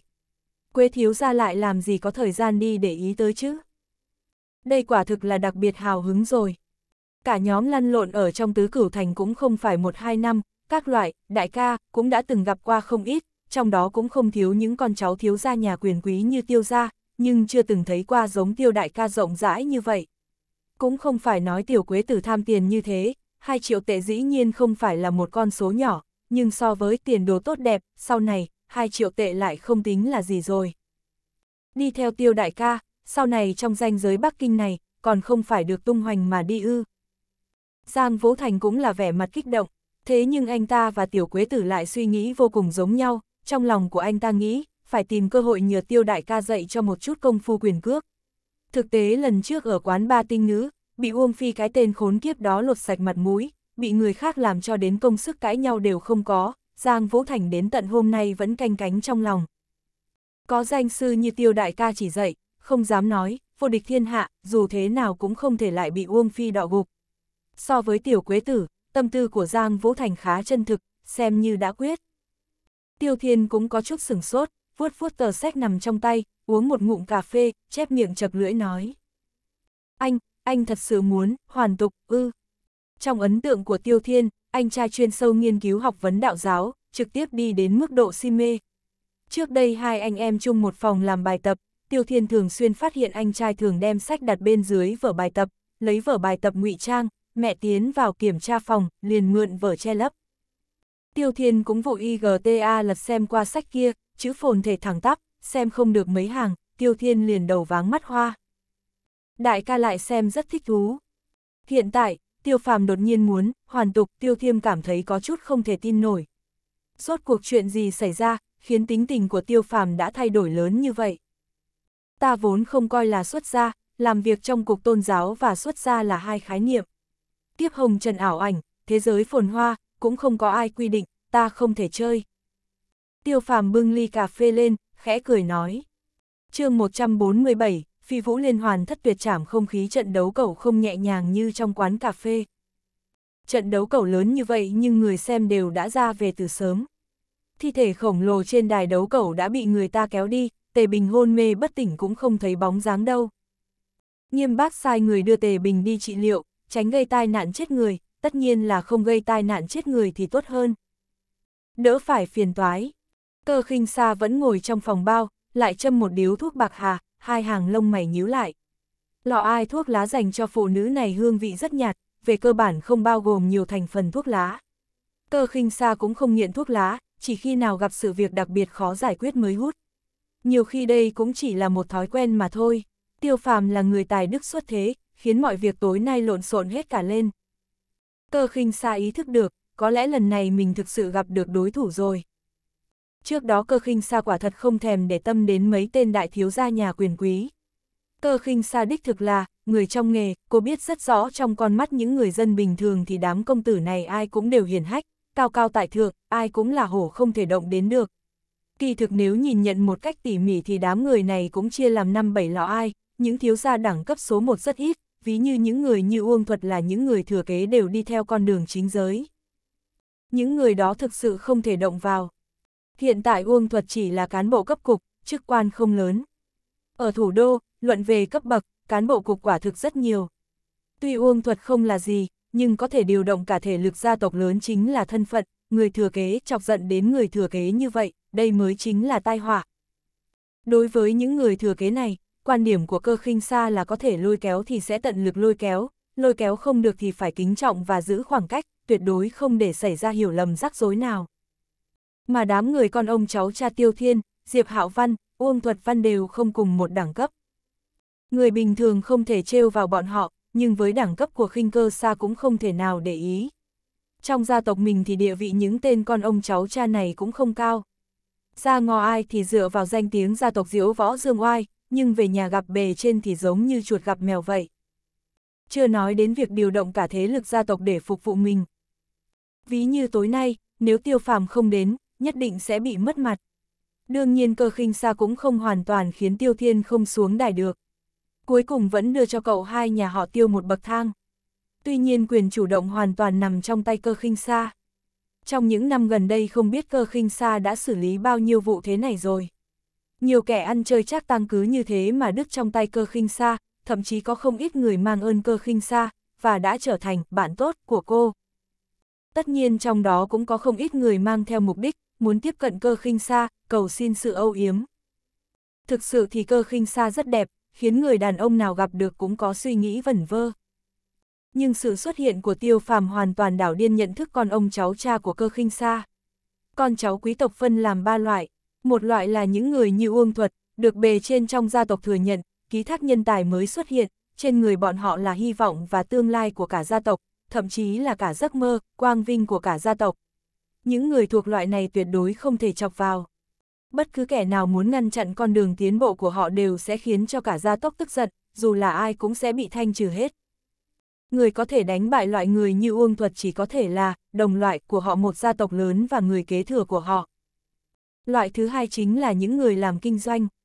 Số lượng con cháu quý tộc loại này là nhiều nhất, dưới sự che chở của bậc cha chú, lợi dụng thể chế hiện hành, kiếm bội tiền, trở thành tinh anh xã hội, khắp người tỏa hào quang, vô cùng phóng khoáng. Tơ khinh xa giao tiếp nhiều nhất với loại con cháu quý tộc này. Họ giàu có và có giáo dục, đối nhân xử thế nho nhã lễ độ, chỉ cần có thể chịu đựng ngạo khí của họ, thì vẫn có thể kết giao với họ được, cũng không hoàn toàn từ chối người ở nơi xa. Diệp Hạo Văn miễn cưỡng cũng được xếp vào loại này. Loại thứ ba chính là mấy người tiêu thiên, Uông Thuật Văn, Uông Phi. Không muốn làm lãnh đạo, cũng không kinh doanh, chỉ dựa vào kẽ hở của thể chế, làm tấm biển gia tộc thật lớn, kiếm được chút lợi ích từ xung quanh. Ngày bình thường ăn chơi đàng điếm, sống mơ mơ màng màng. Loại con cháu quý tộc này lại là những người ngạo khí nhất, sự kiêu ngạo và cảm giác ưu Việt của họ thể hiện trực tiếp trên mặt họ. Người bình thường rất khó có thể tiếp cận với họ. Cơ khinh xa coi thường việc tiếp cận với bọn họ. Trong mắt cơ khinh xa, loại con cháu quý tộc này có thể làm chút chuyện, nhưng bọn họ tò ẩn gây tai họa, hơn nữa lại hay đắn đo. Muốn tiếp cận với họ, nhờ bọn họ chúc chuyện, thì trước tiên phải dùng tiền để mở đường. Trong mắt họ, bất kỳ người làm ăn nào mà họ tiếp cận đều là con dê to béo trước khi mở miệng đã bị làm thịt rồi. Điều mấu chốt chính là, loại những người thừa kế này không có giới hạn cuối cùng. Đây là nguyên nhân chính cơ khinh xa khinh thường hợp tác với họ. Cơ khinh xa khinh bỉ những người không biết điểm dừng, dù là làm người hay làm việc thì đều phải có điểm dừng. Những kẻ mà không biết điểm dừng chỉ e rằng dù tổ tiên có tích được nhiều công đức hơn nữa, thì sợ rằng cũng không làm được chuyện. Những người thuộc loại này bình thường đều là thuộc hạ của cơ khinh xa giao tiếp với họ. Còn cơ khinh xa từ trước tới này chưa từng có sắc mặt tốt với họ. Ví như tối nay, Diệp Đại, Tiêu Nhị, Uông Nhị, Uông Tam đều là con cháu nhà quyền quý, cơ khinh xa gặp họ cũng chỉ gật đầu chứ không tỏ vẻ gì đặc biệt. Nhưng tiêu phàm lại không như vậy. Tiêu phàm không phải là nhân tài mới xuất hiện trong giới chính trị như Uông Thuật, cũng không giống như Diệp Hạo Văn làm kinh doanh, càng không giống như con ông cháu cha Tiêu Thiên, Uông Thuật Văn, Uông Phi. Cơ khinh xa không có cách nào, phân loại hắn. Nhưng cơ khinh xa biết rằng, việc tối nay vẫn chưa xong. Tiêu phàm nói rất rõ ràng, về trận đấu cầu, đợi lát nữa sẽ tính sau. Giọng điệu dịu dàng, không có chút nào ác khí, nhưng ngạo khí khinh người từ trong xương cốt của hắn khiến cơ khinh xa trao mày lại. Cơ khinh xa tuyệt đối tin tưởng, tiêu phàm không nói đùa, càng không phải là uy hát iota ép. Hắn nói sẽ tính sổ trận đấu cầu thì nhất định sẽ tính. Hắn là anh ruột của tiêu thiên, những người khác liên kết với nhau để trừng trị em trai hắn, răng bẫy chờ tiêu thiên nhảy vào, nếu có thể tính tuần như vậy thì mới là chuyện lạ. Cơ khinh xa mơ hồ cảm nhận được trên người tiêu phàm có một phong khí bá chủ. Ai nói nhân vật trí dũng kiệt xuất nhất định phải có bộ mặt dữ tợn. Trái với vẻ trầm ngâm của cơ khinh xa, Uyển Thiên Thiên lại rất vô tư, ngồi một bên cười hì hì uống nước ngọt và ăn trái cây, đợi đi đến nhà cơ khinh xa kéo bản trang điểm đi. Tỏ vẻ không hài lòng với cơ khinh xa, làm như không nhìn thấy, cũng không phát biểu bất kỳ ý kiến gì. Quan hệ của Uyển Thiên và cơ khinh xa cũng vô cùng đặc biệt nếu nhất định phải định cấp mối quan hệ của hai người, thì miễn cưỡng cũng được xem như là bạn gái. Tất nhiên là không giống với mối quan hệ của các cô gái bình thường. Đề tài mà các cô nói chuyện với nhau không phải là đi học cắm hoa, hay shop nào giảm giá. Họ rất ít can thiệp vào chuyện của nhau. Cơ khinh xa có sự nghiệp của cơ khinh xa, Uyển Thiên cũng có sự nghiệp riêng của mình.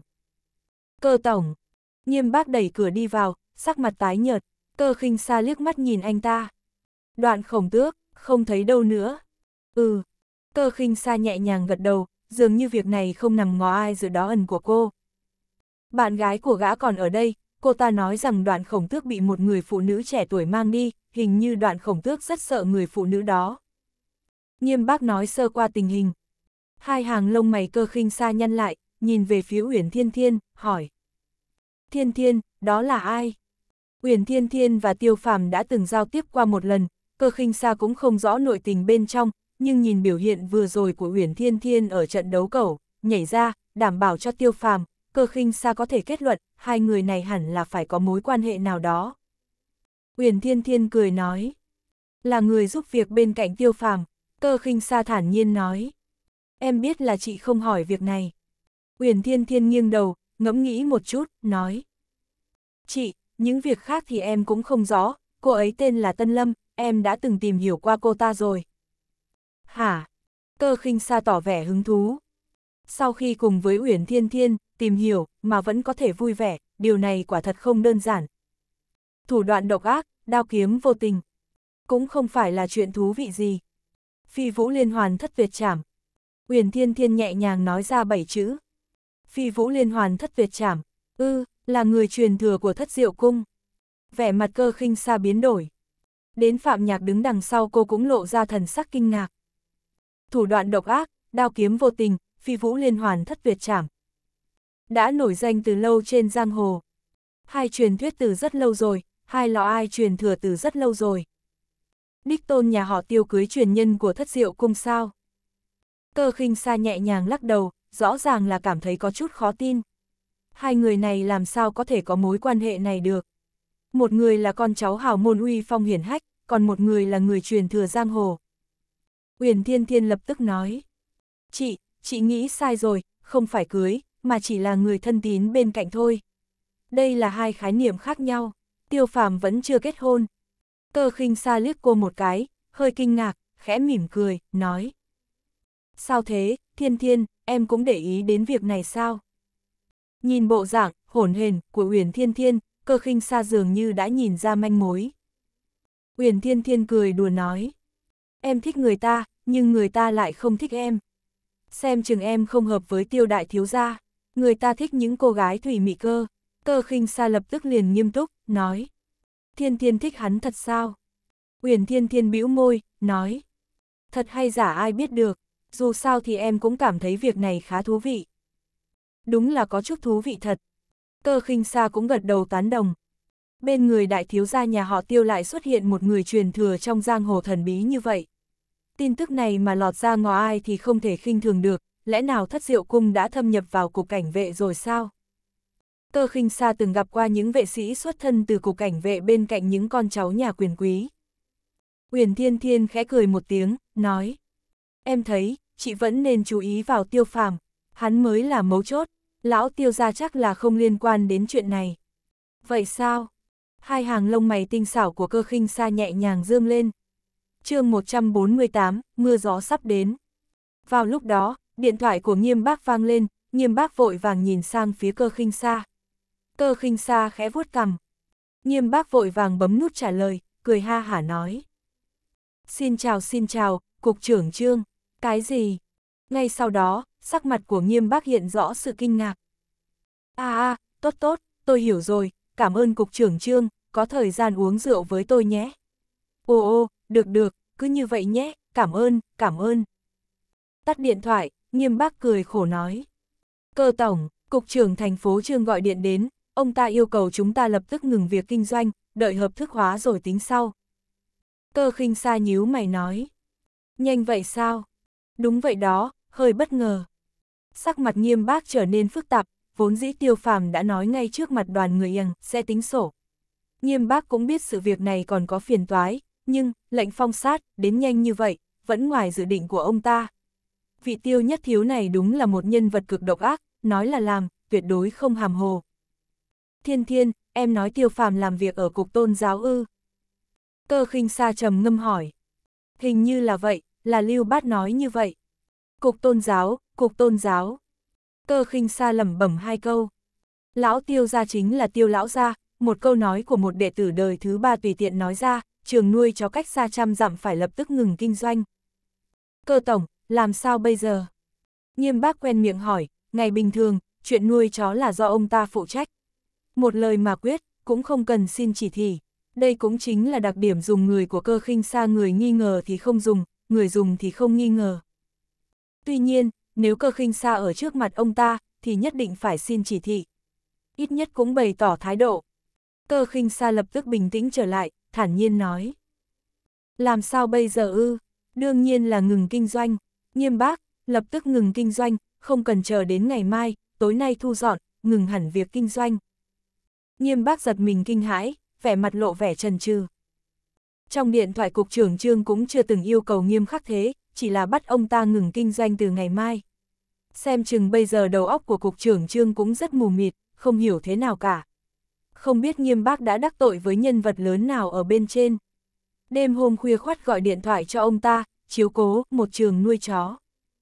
Tuy nhiên nghiêm bác trần trừ cũng không lâu lắm, lập tức gật đầu, nói. Được, cơ tổng, ông đi thu xếp đi. Cơ khinh xa khoát tay, vâng. Nghiêm bác hơi hơi khom người, lui ra ngoài. Uyển Thiên Thiên ưỡn thân hình thon thả mềm mại ra một chút, nói. Ai ra, mệt mỏi quá, chị cứ bận việc đi nhé, em về trước đây. Hiển nhiên bên kia tiêu phàm đã bắt đầu, tính sổ, cơ khinh xa giữ vững được tinh thần ứng đối rồi, người ta có việc nhà phải thương lượng. Uyển Thiên Thiên sẽ không làm ồn ở đây đâu. Cơ khinh xa tự nhiên cười nói. Cô bé, cái bàn trang điểm kia của chị, em cũng đừng có nhung nhớ, ngày mai chị sẽ cho người đưa đến. Được, được, em biết mà, chị đối với em là tốt nhất, nào, ôm một cái. Uyển Thiên Thiên vỗ tay cười nói. Đi đi, đi đi, đi ngủ đi, buổi tối không ngủ được, thì gọi điện thoại cho mấy anh chàng đẹp trai mà tâm sự. Xem bộ dạng đó của anh ta, hẳn là người tốt. Ai, nhưng chị nhắc nhở em, bây giờ là lúc đấy, phải giữ chặt, đừng bỏ lỡ nữa. Tơ khinh xa cười trêu chọc. Uyển Thiên Thiên liếc cô một cái, đôi mắt quyến rũ như tơ. Chị, câu này phải là nói cho chính trị mới đúng. Hi hi, Uyển Thiên Thiên cũng có thể không nhẹ không nặng trước mặt cơ khinh xa như vậy. Có lẽ cũng chỉ có ở trước mặt Uyển Thiên Thiên, cơ khinh xa mới tìm thấy chút cảm giác bình thường của một người phụ nữ. Ở chỗ cao không khỏi bị lạnh. Nhìn theo Uyển Thiên Thiên và Đường Huyên rời đi, hai hàng lông mày của cơ khinh xa lại nhào lên, hạ giọng nói. Phạm Nhạc, người thấy thế nào? Rất bị động. Lời của Phạm Nhạc ít mà ý nhiều. Những cái khác không có gì quan trọng hơn, tạm ngừng kinh doanh nuôi chó một thời gian, tất nhiên tổn thất không nhỏ, cũng còn có thể thừa nhận trong phạm vi. Chỉ cần cơ khinh xa này còn, việc nuôi chó sớm hay muộn sẽ lại phát đạt thôi. Điều quan trọng là đoạn khổng tước bị đưa đi, đây mới là phiền phức. Toàn quyền chủ động nằm trong tay tiêu phàm rồi. Tuy nhiên cơ khinh xa liên tục trao hai hàng lông mày, vẫn khiến Phạm Nhạc có chút kinh ngạc. Mấy năm nay cơ khinh xa nói tới vấn đề khó khăn, so với người khác không nhiều. Trong đó nhiều thứ so với lúc này cục diện còn ác liệt hơn, Phạm Nhạc cũng không thấy cơ khinh xa nhíu mày liên tiếp như vậy. Phạm Nhạc biết rằng, cơ khinh xa không phải đang lo lắng chuyện nuôi chó, thậm chí cũng không hoàn toàn lo lắng chuyện đoạn khổng tước. Tiêu phàm không giáo huấn đoàn khổng tước ngay tại chỗ, chứng tỏ đã để lại cho gã đường sống.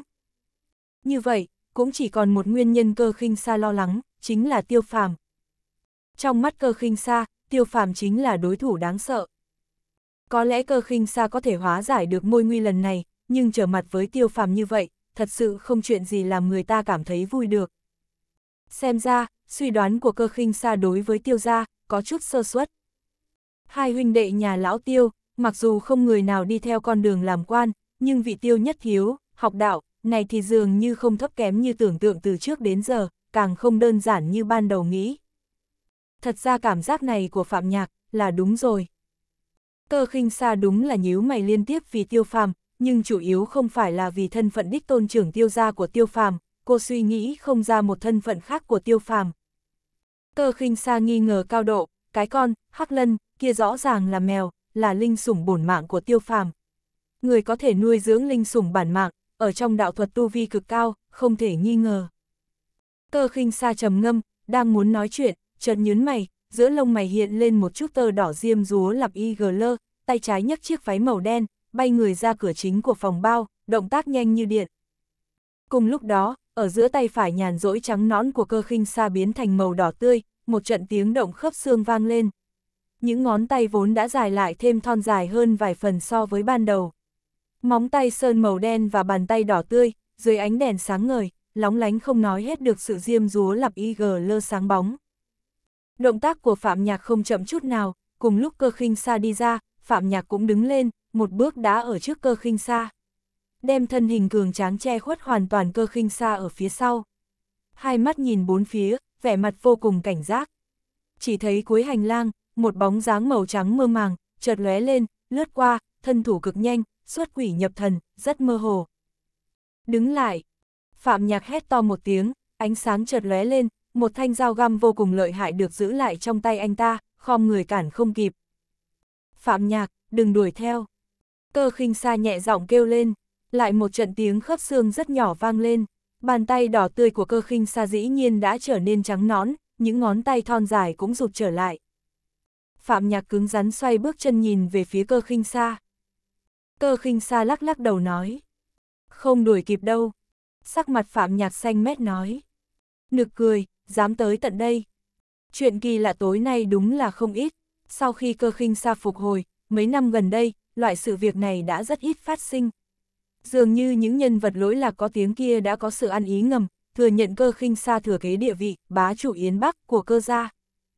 Thế lực của cơ gia ở Yến Bắc quả thật cũng là cây lớn dễ sâu, không phải là nhỏ. Không ngờ tiêu phàm vừa mới đi, phía sau đã xuất hiện một quỷ ảnh, màu trắng, trực tiếp nhằm vào cơ khinh xa, không coi phạm nhạc ra gì, thật là khinh người quá đáng. Còn một điều cũng làm cho phạm nhạc cảm thấy có chút khó hiểu. Cơ khinh xa có một giác quan thứ sáu nhạy bén khác thường, đã từng cứu mạng cơ khinh xa nhiều lần. Mỗi lần gặp phải tình hình dị thường, phản ứng của cơ khinh xa đều nhanh hơn phạm nhạc. Đương nhiên, phạm nhạc cũng biết, loại giác quan thứ sáu nhạy bén này, có lẽ có liên quan đến thủ pháp của cơ khinh xa. Đây là một điều vô cùng kỳ diệu. Nhưng lần này, loại giác quan thứ sáu cực kỳ nhạy bén này của cơ khinh xa lại dường như mất đi hiệu lực rồi. Gần như anh ta và cơ khinh xa đồng thời nhận ra nguy hiểm, đây chỉ là thủ thuật bản năng võ thuật. Xảy ra chuyện gì vậy? Phạm Nhạc hỏi vẻ mặt nghi ngờ. Sắc mặt cơ khinh xa cũng có chút không tốt, nhẹ nhàng lắc đầu nói. Người tới đây không đơn giản, có thể che đậy hơi thở của mình. Vẻ mặt Phạm Nhạc đột nhiên biến đổi. Cũng là cao thủ ư. Phạm Nhạc biết rằng về phương diện này năng lực của cơ khinh xa, là một cô gái, năm đó nhận mệnh lệnh nguy hiểm, để xoay chuyển tình thế, cơ khinh xa đã học truyền thừa thuật pháp, có trợ lực cực lớn. Hẳn là vậy, hơn nữa trình độ không thấp. Phạm Nhạc ngẫm nghĩ một chút hỏi, tiêu phàm. Cơ khinh xa lắc đầu, giọng điệu rất khẳng định nói. Không phải tiêu phàm, người này ít khả năng, khí phách phi phàm, quang minh chính đại, sẽ không làm chuyện lén lút như vậy. Cũng không cần thiết. Điểm này, Phạm Nhạc cũng có cùng suy nghĩ như phân tích của cơ khinh xa. Tiêu phàm là người khí phách rộng lượng, cũng không phải giả tạo, là trời sinh đã vậy.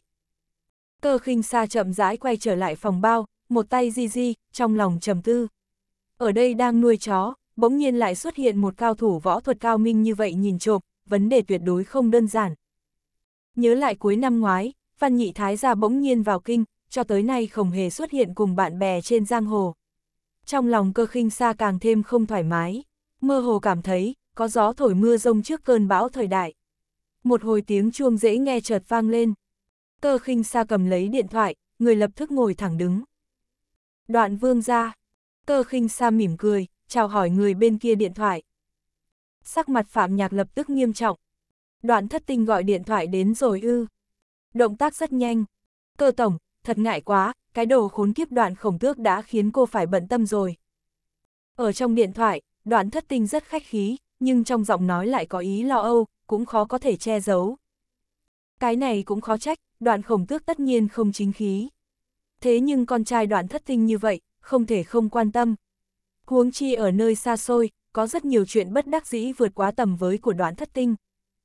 Cơ khinh xa cười nhẹ nhàng hạ giọng nói. Đoạn vương ra, không cần quá lo lắng, người trẻ tuổi trí khí rất cao, cũng là bình thường. Ngữ điệu tao nhã, chỉ có điều không khỏi nói mình già rồi. Bên kia điện thoại, đoạn thất tinh thở phào một cái. chương 149, mua nhà. Tiền vàng tuy nhiều, nhưng đôi khi lại không dựa vào giá trị tuyệt đối để cân nhắc. Ví dụ như 7 triệu, đối với người bình thường mà nói, là một con số vô cùng lớn.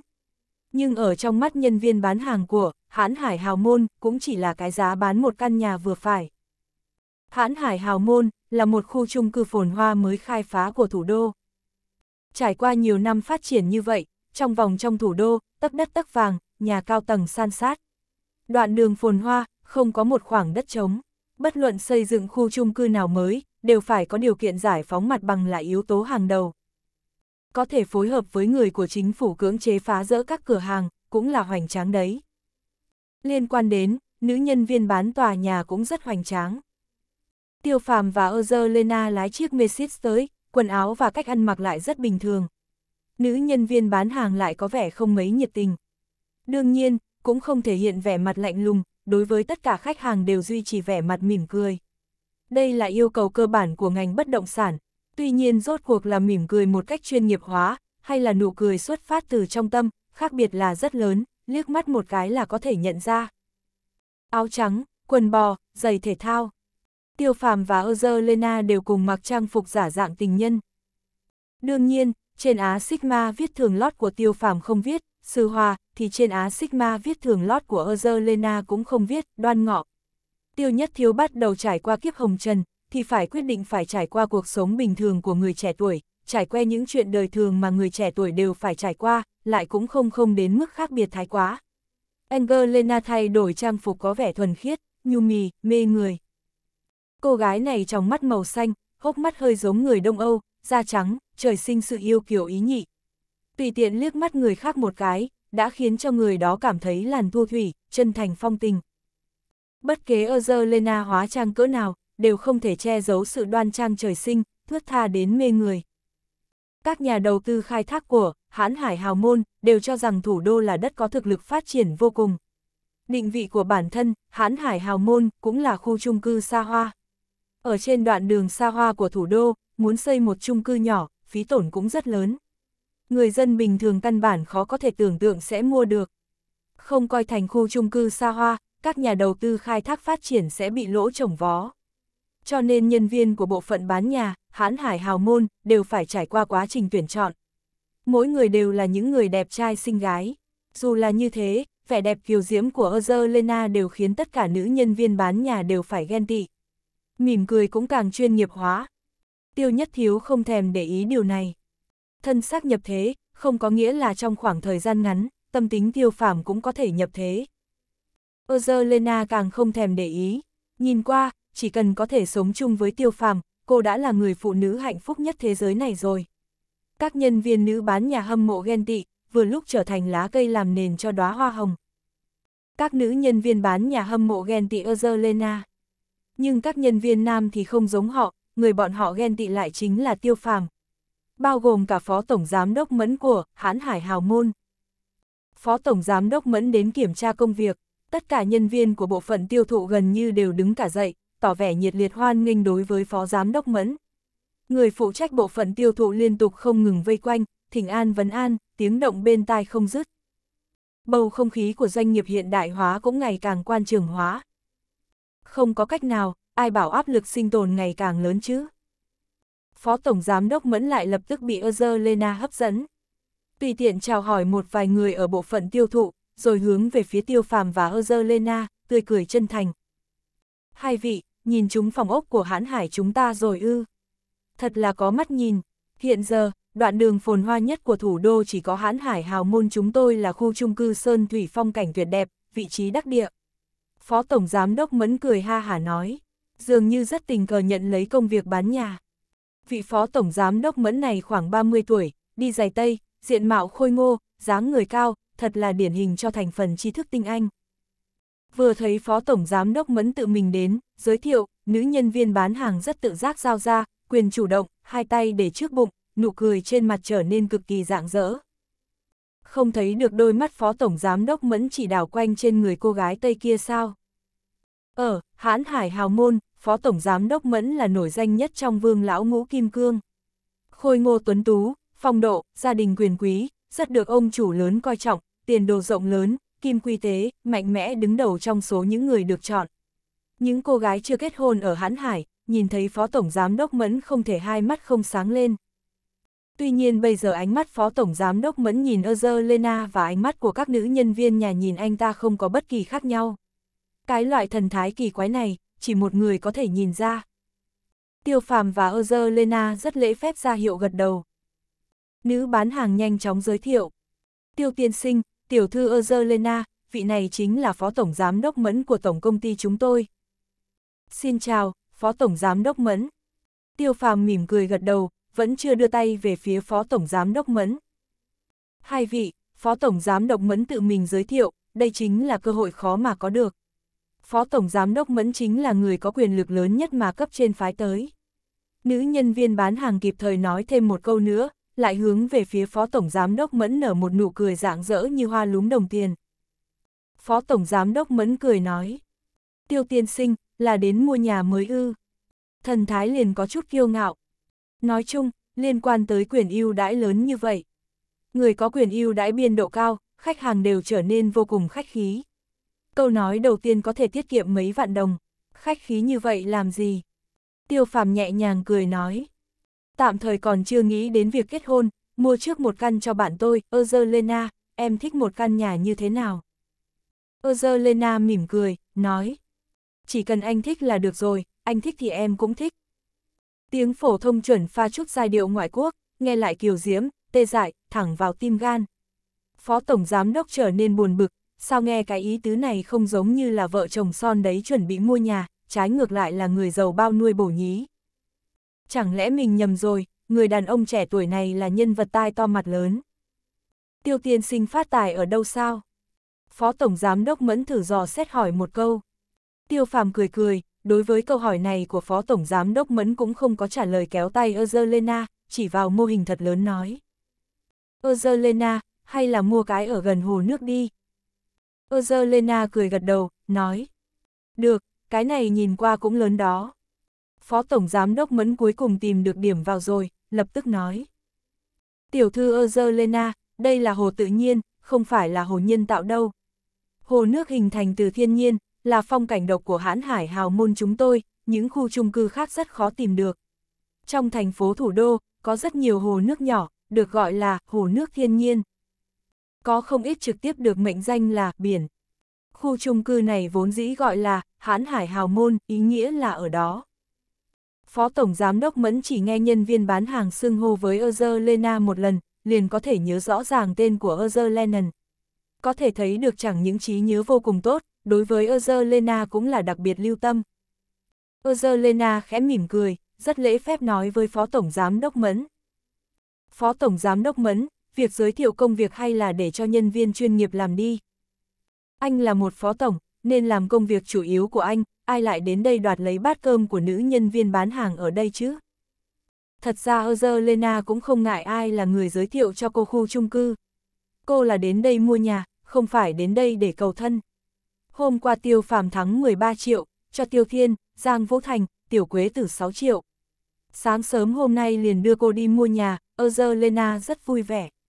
Lại nói tiếp, tình hình giữa Ơ Lena và Tiêu Phàm là vô cùng đặc biệt. Cho đến tận bây giờ, hai người tiếp xúc thân mật nhất là cùng chung giường chung gối, vẫn là phát sinh trong tình huống Ozerlena không hề hay biết gì. Ozerlena hiện giờ vẫn là trinh nữ. Ozerlena rất rõ ràng, Tiêu Phàm đang dùng cô làm lá chắn. Còn rốt cuộc muốn che giấu cái gì, Tiêu Phàm muốn đạt tới cái gì, Ozerlena cũng không biết. Cô dù thông minh cũng không thể biết được, Tiêu Phàm chính là muốn mượn điều này để hợp thức hóa thân phận con ông cháu cha của mình. Trong tứ cửu thành, cho dù là con ông cháu cha càn quấy nhất, đều đang cố gắng tỏ ra mình là người đứng đắn, nhất là ở trước mặt bề trên, lại nhất định phải giả bộ. Duy chỉ có tiêu phàm là hy vọng tất cả mọi người cho rằng hắn là công tử con ông cháu cha càn quấy nhất. Kẻ địch lớn ẩn nấp trong bóng tối đó, cho tới nay vẫn chưa tìm ra được dấu vết. Nhưng chỉ cần ở cùng một chỗ với tiêu phàm, Ơ Lena đã rất vui vẻ, cũng có một cảm giác vô cùng an toàn. Loại cảm giác an toàn này, đối với Ơ mà nói, mới là quan trọng. Nhiều năm như vậy, Ơ từng giây từng phút đều sống trong sợ hãi, thiếu thốn nhất là cảm giác an toàn. Cái tên họ mẫn không có chút ánh mắt này cứ chạy tới làm phiền. Ơ sợ tiêu phàm giận, trên danh nghĩa, Ơ là bạn gái của tiêu phàm. Kỳ thật bọn họ sống cùng nhau thời gian rất ít, chính Azerlena cũng không hy vọng có một tên đáng ghét xen vào, phá vỡ quãng thời gian su IG xứ IG khó mà có được này. Nữ nhân viên bán hàng vội vàng nghiêng đầu đi, sợ bị phó tổng giám đốc mẫn nhìn thấy ánh mắt trêu tức của mình. Lại nói tiếp, nữ nhân viên bán hàng cũng là một trong số đông những người ngưỡng mộ phó tổng giám đốc mẫn. Nhưng nhìn thấy phó tổng giám đốc mẫn ngạc nhiên, lại không kìm nổi cười. Vốn là châu bò hoành tráng, phó tổng giám đốc mẫn mà bản thân mình luôn cảm giác không phải tốt đẹp bình thường lại cũng có lúc xám xịt như vậy. Bỗng nhiên lúc đó, nữ nhân viên bán hàng cảm thấy hình tượng phó tổng giám đốc mẫn cũng không lớn như trước đây. Muốn leo lên cao cũng vô cùng khó khăn, lên cao cũng rất dễ ngã xuống. Có đôi khi thậm chí là bởi vì công việc nhỏ bé không đáng để nhân vật to lớn hoành tráng xen vào, bởi như vậy có thể sẽ biến thành trò cười. Trên mặt phó tổng giám đốc mẫn lập tức hiện lên màu gan lợn, âm thầm cắn chặt răng. Cô gái Tây ngoại quốc này chính là không hiểu chuyện, chẳng lẽ cô không hiểu được, chỉ cần cười với phó tổng giám đốc mẫn vài cái, là có thể tiết kiệm mấy chục ngàn đồng.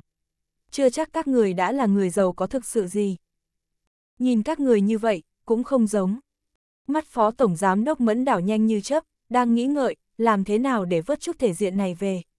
Vốn dĩ người phụ trách bộ phận tiêu thụ vây quanh anh ta, bỗng nhiên đều quay đầu nhìn ra phía cửa, trợn mắt thật lớn, vẻ mặt kinh ngạc, dường như thấy được chuyện không thể nào tin nổi.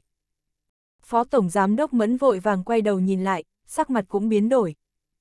chương 150, khách quý chủ tịch hội đồng quản trị. Ngay sau đó, Phó Tổng Giám đốc Mẫn không kịp dây dưa với Tiêu Phàm và Lena, hơi khom người, một thân chạy chậm đi, miệng liên thanh tiếp đón, trên mặt không tự chủ được lộ ra vẻ tươi cười nịnh nọt. Người phụ trách bộ phận bán hàng cũng theo sát phía sau Phó Tổng Giám đốc Mẫn, kinh sợ. Vào cửa chính là một người đàn ông trung niên chừng 50 tuổi, ưỡn ngực bụng lồi ra, tai to mặt lớn, vẻ mặt phúc hậu, tóc tuy rằng không nhiều lắm, nhưng mỗi cái đều được xử lý tỉ mỉ, có thể soi gương được. Qua thêm mấy năm nữa, đoán chừng tóc của ông ta mỗi sợi đều có một cái tên với phong cách đặc biệt. Loại người này vừa nhìn chính là ông chủ lớn. Đương nhiên, làn da hơi đen bầy ở phía trước kia, là màu da điển hình của xí nghiệp nông nghiệp. Tuy nhiên bây giờ, đã không còn gọi là xí nghiệp nông nghiệp nữa, mà gọi là doanh nghiệp tư nhân. Đó chính là ông chủ lớn, Dịch Thừa Hồng. Chủ tịch hội đồng quản trị của công ty khai phá bất động sản Thừa Hồng. Mặc dù trong tứ cửu thành, rất nhiều ông chủ muốn làm bất động sản, nhưng có thể được như Dịch Thừa Hồng ngày hôm nay thì không nhiều. Ở giới bất động sản của thủ đô, tiếng tăm của Dịch Thừa Hồng cũng rất nổi. Hãn Hải Hào Môn chỉ là một tiểu khu trên danh nghĩa của bất động sản Thừa Hồng. Ngày bình thường không cần nói đến Chủ tịch Hội đồng Quản trị Dịch Thừa Hồng, cho dù là Phó Tổng Giám đốc mẫn những nhân vật hoành tráng này đều rất ít xuất hiện. Toàn bộ bộ phận bán hàng, cũng chỉ có hai người phụ trách gặp mặt Dịch Thừa Hồng. Nhưng mỗi người ở bộ phận bán hàng đều biết người này là ông chủ lớn. Ảnh chụp Dịch Thừa Hồng với lãnh đạo quốc gia được treo ở chỗ bắt mắt nhất ở bộ phận bán hàng. Dùng cách này để chứng minh cho người mua nhà thấy được thực lực của bất động sản Thừa Hồng. Đặc điểm của dịch thừa hồng là đầu hói và bụng to, rất dễ nhớ. Cùng loại ảnh chụp như vậy, còn không chỉ một bức, ít nhất có từ 7 bức trở lên. Chụp dịch thừa hồng và 7 vị lãnh đạo quốc gia, của thật có thể xác thực được mạng lưới quan hệ cao cấp của dịch thừa hồng. Nghe nói dịch thừa hồng chính là con cháu của lão Hồng Quân. Ông nội của ông ta có quan hệ với rất nhiều thế hệ người có công lớn. Nhưng lời đồn đại này rốt cuộc như thế nào, vẫn còn phải nghiệm chứng. Mọi người ở bộ phận bán hàng sợ hãi, không biết hôm nay xảy ra chuyện gì, thế nào mà cả ông chủ lớn không hề thông báo một tiếng đã tới rồi.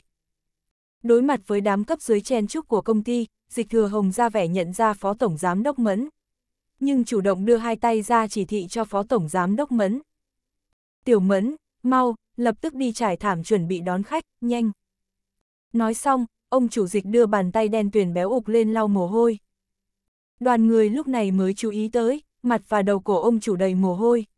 Mới tháng đầu mùa xuân, thời tiết cũng không nóng lắm ông chủ lớn mặc cũng không nhiều, làm sao lại đầy mồ hôi nhỉ? Phó Tổng Giám đốc Mẫn hơi sừng sốt, thuận miệng hỏi. Chủ tịch hội đồng quản trị, có khách tới ư? Dịch thừa hồng trừng mắt, giận dữ nói. Nói nhiều, mau lên, còn trần trừ cái gì nữa? Khách đến rồi kia kìa. Phó Tổng Giám đốc Mẫn hoảng sợ. Ngày bình thường, Dịch thừa hồng vô cùng bình dị gần gũi, rất ít khi ra bộ là ông chủ lớn, đối xử với nhân viên đều rất hòa nhã. Hôm nay mở miệng đã phát hỏa, xem ra vị khách này thật sự không phải là nhỏ, nói không chừng lại là một nguyên thủ quốc gia. Nghĩ đến đây mặt và đầu cổ phó tổng giám đốc Mẫn cũng toát ra đầy mồ hôi, không kịp lau, không ngừng quay đầu ngay lập tức chỉ đạo nhân viên bộ phận bán hàng chuẩn bị nghi thức đón khách. Ông chủ lớn đích thân đến, toàn bộ bộ phận tiêu thụ được điều động, vội vàng. Mấy người luống cuống trải thảm đỏ ra ở bộ phận bán hàng, những người khác thì tập hợp xếp hàng ở cửa bộ phận bán hàng. Không kịp chuẩn bị hoa tươi. Tuy nhiên một nữ nhân viên bán hàng thông minh, đem hoa cắm trong bình ra cắm, không biết lấy đâu ra một tờ giấy rực rỡ sắc màu và một sợi băng gấm, nhanh nhẹn bó lại, không ngờ cũng giống. Dịch thừa hồng vừa nhìn thấy đã rất hài lòng, chỉ ngón tay cái thô đen về phía cô. Nữ nhân viên bán hàng kia xúc động gần như ngất đi. Đây chính là ông chủ lớn A, thân gia hàng tỷ đồng là không thể giả được. Đúng rồi, cái người kia, A, tiểu mẫn, cậu lái xe của tôi đi ra đi, động tác nhanh lên một chút. Nói xong, Dịch Thừa Hồng đưa chìa khóa chiếc xe Mercedes-Benz cho Phó Tổng Giám Đốc Mẫn. Mọi người mới phát hiện, chiếc xe hơi xa hoa của Dịch Thừa Hồng đỗ ở cách đó không xa, cửa xe mở rộng. Không ngờ ông chủ lớn tự mình lái xe đến, ngay cả lái xe và thư ký cũng không kịp đưa theo. Thật không hiểu đã xảy ra chuyện gì quan trọng hơn, khiến Dịch Thừa Hồng luống cuống tay chân như vậy. Có lẽ các vị nguyên thủ quốc gia sắp đến thị sát, hãn hải hào môn, là phát sinh bất ngờ, thế cho nên ông chủ lớn mới trở tay không kịp. Phó Tổng Giám Đốc Mẫn thật là cảm thấy buồn bực. Vốn cho rằng mình là nhân vật quan trọng, không thể thiếu trong suy nghĩ của ông chủ lớn. Không ngờ qua lời nói của dịch tổng, đường đường là một phó tổng giám đốc lại biến thành cái người kia. Chỉ có điều trong lúc này, phó tổng giám đốc Mẫn không dám so đo với ông chủ lớn. Không thấy ông chủ lớn cũng rất lo lắng sao. Đoàn người loay hoay tới tối mịt, cuối cùng ở cửa bộ phận tiêu thụ cũng bố trí xong thế trận đón khách. Còn Tiêu Phàm và Ơ Lena hoàn toàn bị bỏ qua một bên, không ai để ý tới. Phòng ốc ở, hãn hải hào môn, thật sự rất đẹp, tuyệt đối quý giá. Tiêu Phàm và Ơ Lena có mua nhà hay không căn bản cũng không sao cả, bộ phận tiêu thụ cũng không sợ đắc tội bọn họ. Không mua thì dẹp đi. Người muốn mua còn nhiều, rất nhiều. Tiêu Phàm và Ozerlena Lena bốn mắt nhìn nhau, đều có chút bất đắc dĩ. Tiêu Phàm khẽ lắc đầu, Ozerlena Lena liền. Đừng giận, được không? Nói xong, kéo tay hắn, nhẹ nhàng lắc lư vài cái, thân mình cũng nhẹ nhàng đung đưa, sát vào ngực, tùy theo lay động, dáng bộ cầu khẩn hết sức chiều mến. Tiêu phàm đưa tay sờ sờ cái múi thẳng của cô, hạ giọng cười nói. Không giận. Ozerlena Lena liền ngượng ngùng cúi đầu. Giờ khắc này, tình cảm của Ơ Lena là tự nhiên chân thật, không có nửa chút dấu vết của sự chuyên nghiệp hóa. Rất nhanh, một chiếc xe Mercedes-Benz đen thui uy nghiêm, chậm rãi dừng ở trước cửa bộ phận bán hàng. Dịch thừa hồng lập tức di chuyển hai chân mập mạp, hăng hái tiếp đón, giơ tay kéo cửa xe. Một chân dài trắng nõn hiện ra trong tầm mắt mọi người, lập tức, nhất định là một nữ sĩ đội mũ che nắng màu đen tinh xảo. Cơ khinh xa vẫn áo đen váy đen như trước, ngón tay thon dài cầm một chiếc túi nhỏ hiệu LV tinh xảo, kiểu diễm vô cùng. Đoàn người lập tức tròn mắt nhìn xuống. Tưởng người đến là lãnh đạo quốc gia, không ngờ lại là một mỹ nữ xinh đẹp tinh tế như vậy. Đây là khách quý của chủ tịch dịch sao? Dịch thừa hồng cúi thật thấp, vẻ mặt tươi cười nói. Hoan nghênh cơ tổng, nhiệt liệt hoan nghênh. Tiếng vỗ tay chợt vang lên. Cơ khinh xa khẽ mỉm cười nói. Chủ tịnh dịch, đều là bạn bè, làm gì kinh động đến mọi người như vậy. Cơ tổng từ xa hạ cố đến chơi, nên thế mới phải. Bất kể là khi nào cơ tổng cũng là khách quý của dịch thừa hồng tôi, khách tôn quý nhất. Dịch thừa hồng lại nói liên tiếp, thần thái giọng điệu đều cực kỳ thành khẩn. Xem ra, dịch thừa hồng đối với cơ khinh xa không phải khách khí trên mức bình thường, mà là tuyệt đối tôn trọng, thậm chí là kính nể. Đối với lần này, cơ khinh xa hiển nhiên rất hài lòng. Dịch thừa hồng là người không thể quên.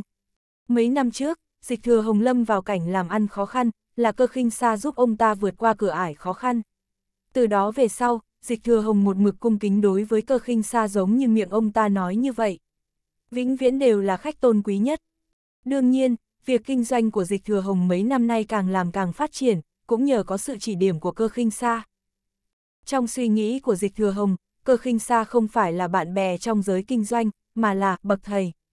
Mỗi lần cơ khinh xa chỉ điểm cho ông ta, đều có thể khiến dịch thừa hồng kiếm được lợi ích không nhỏ.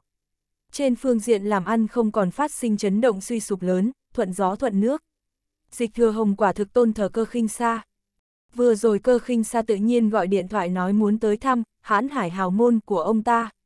Dịch thừa hồng giật mình tay chân luống cuống, không nói lời nào ông ta chay ra mở cửa xe lái đi. Cuối cùng khá đúng lúc, tới trước cơ tổng, bằng không đã quá thất lễ. Phạm Nhạc không nói một lời, ở phía sau cơ khinh xa.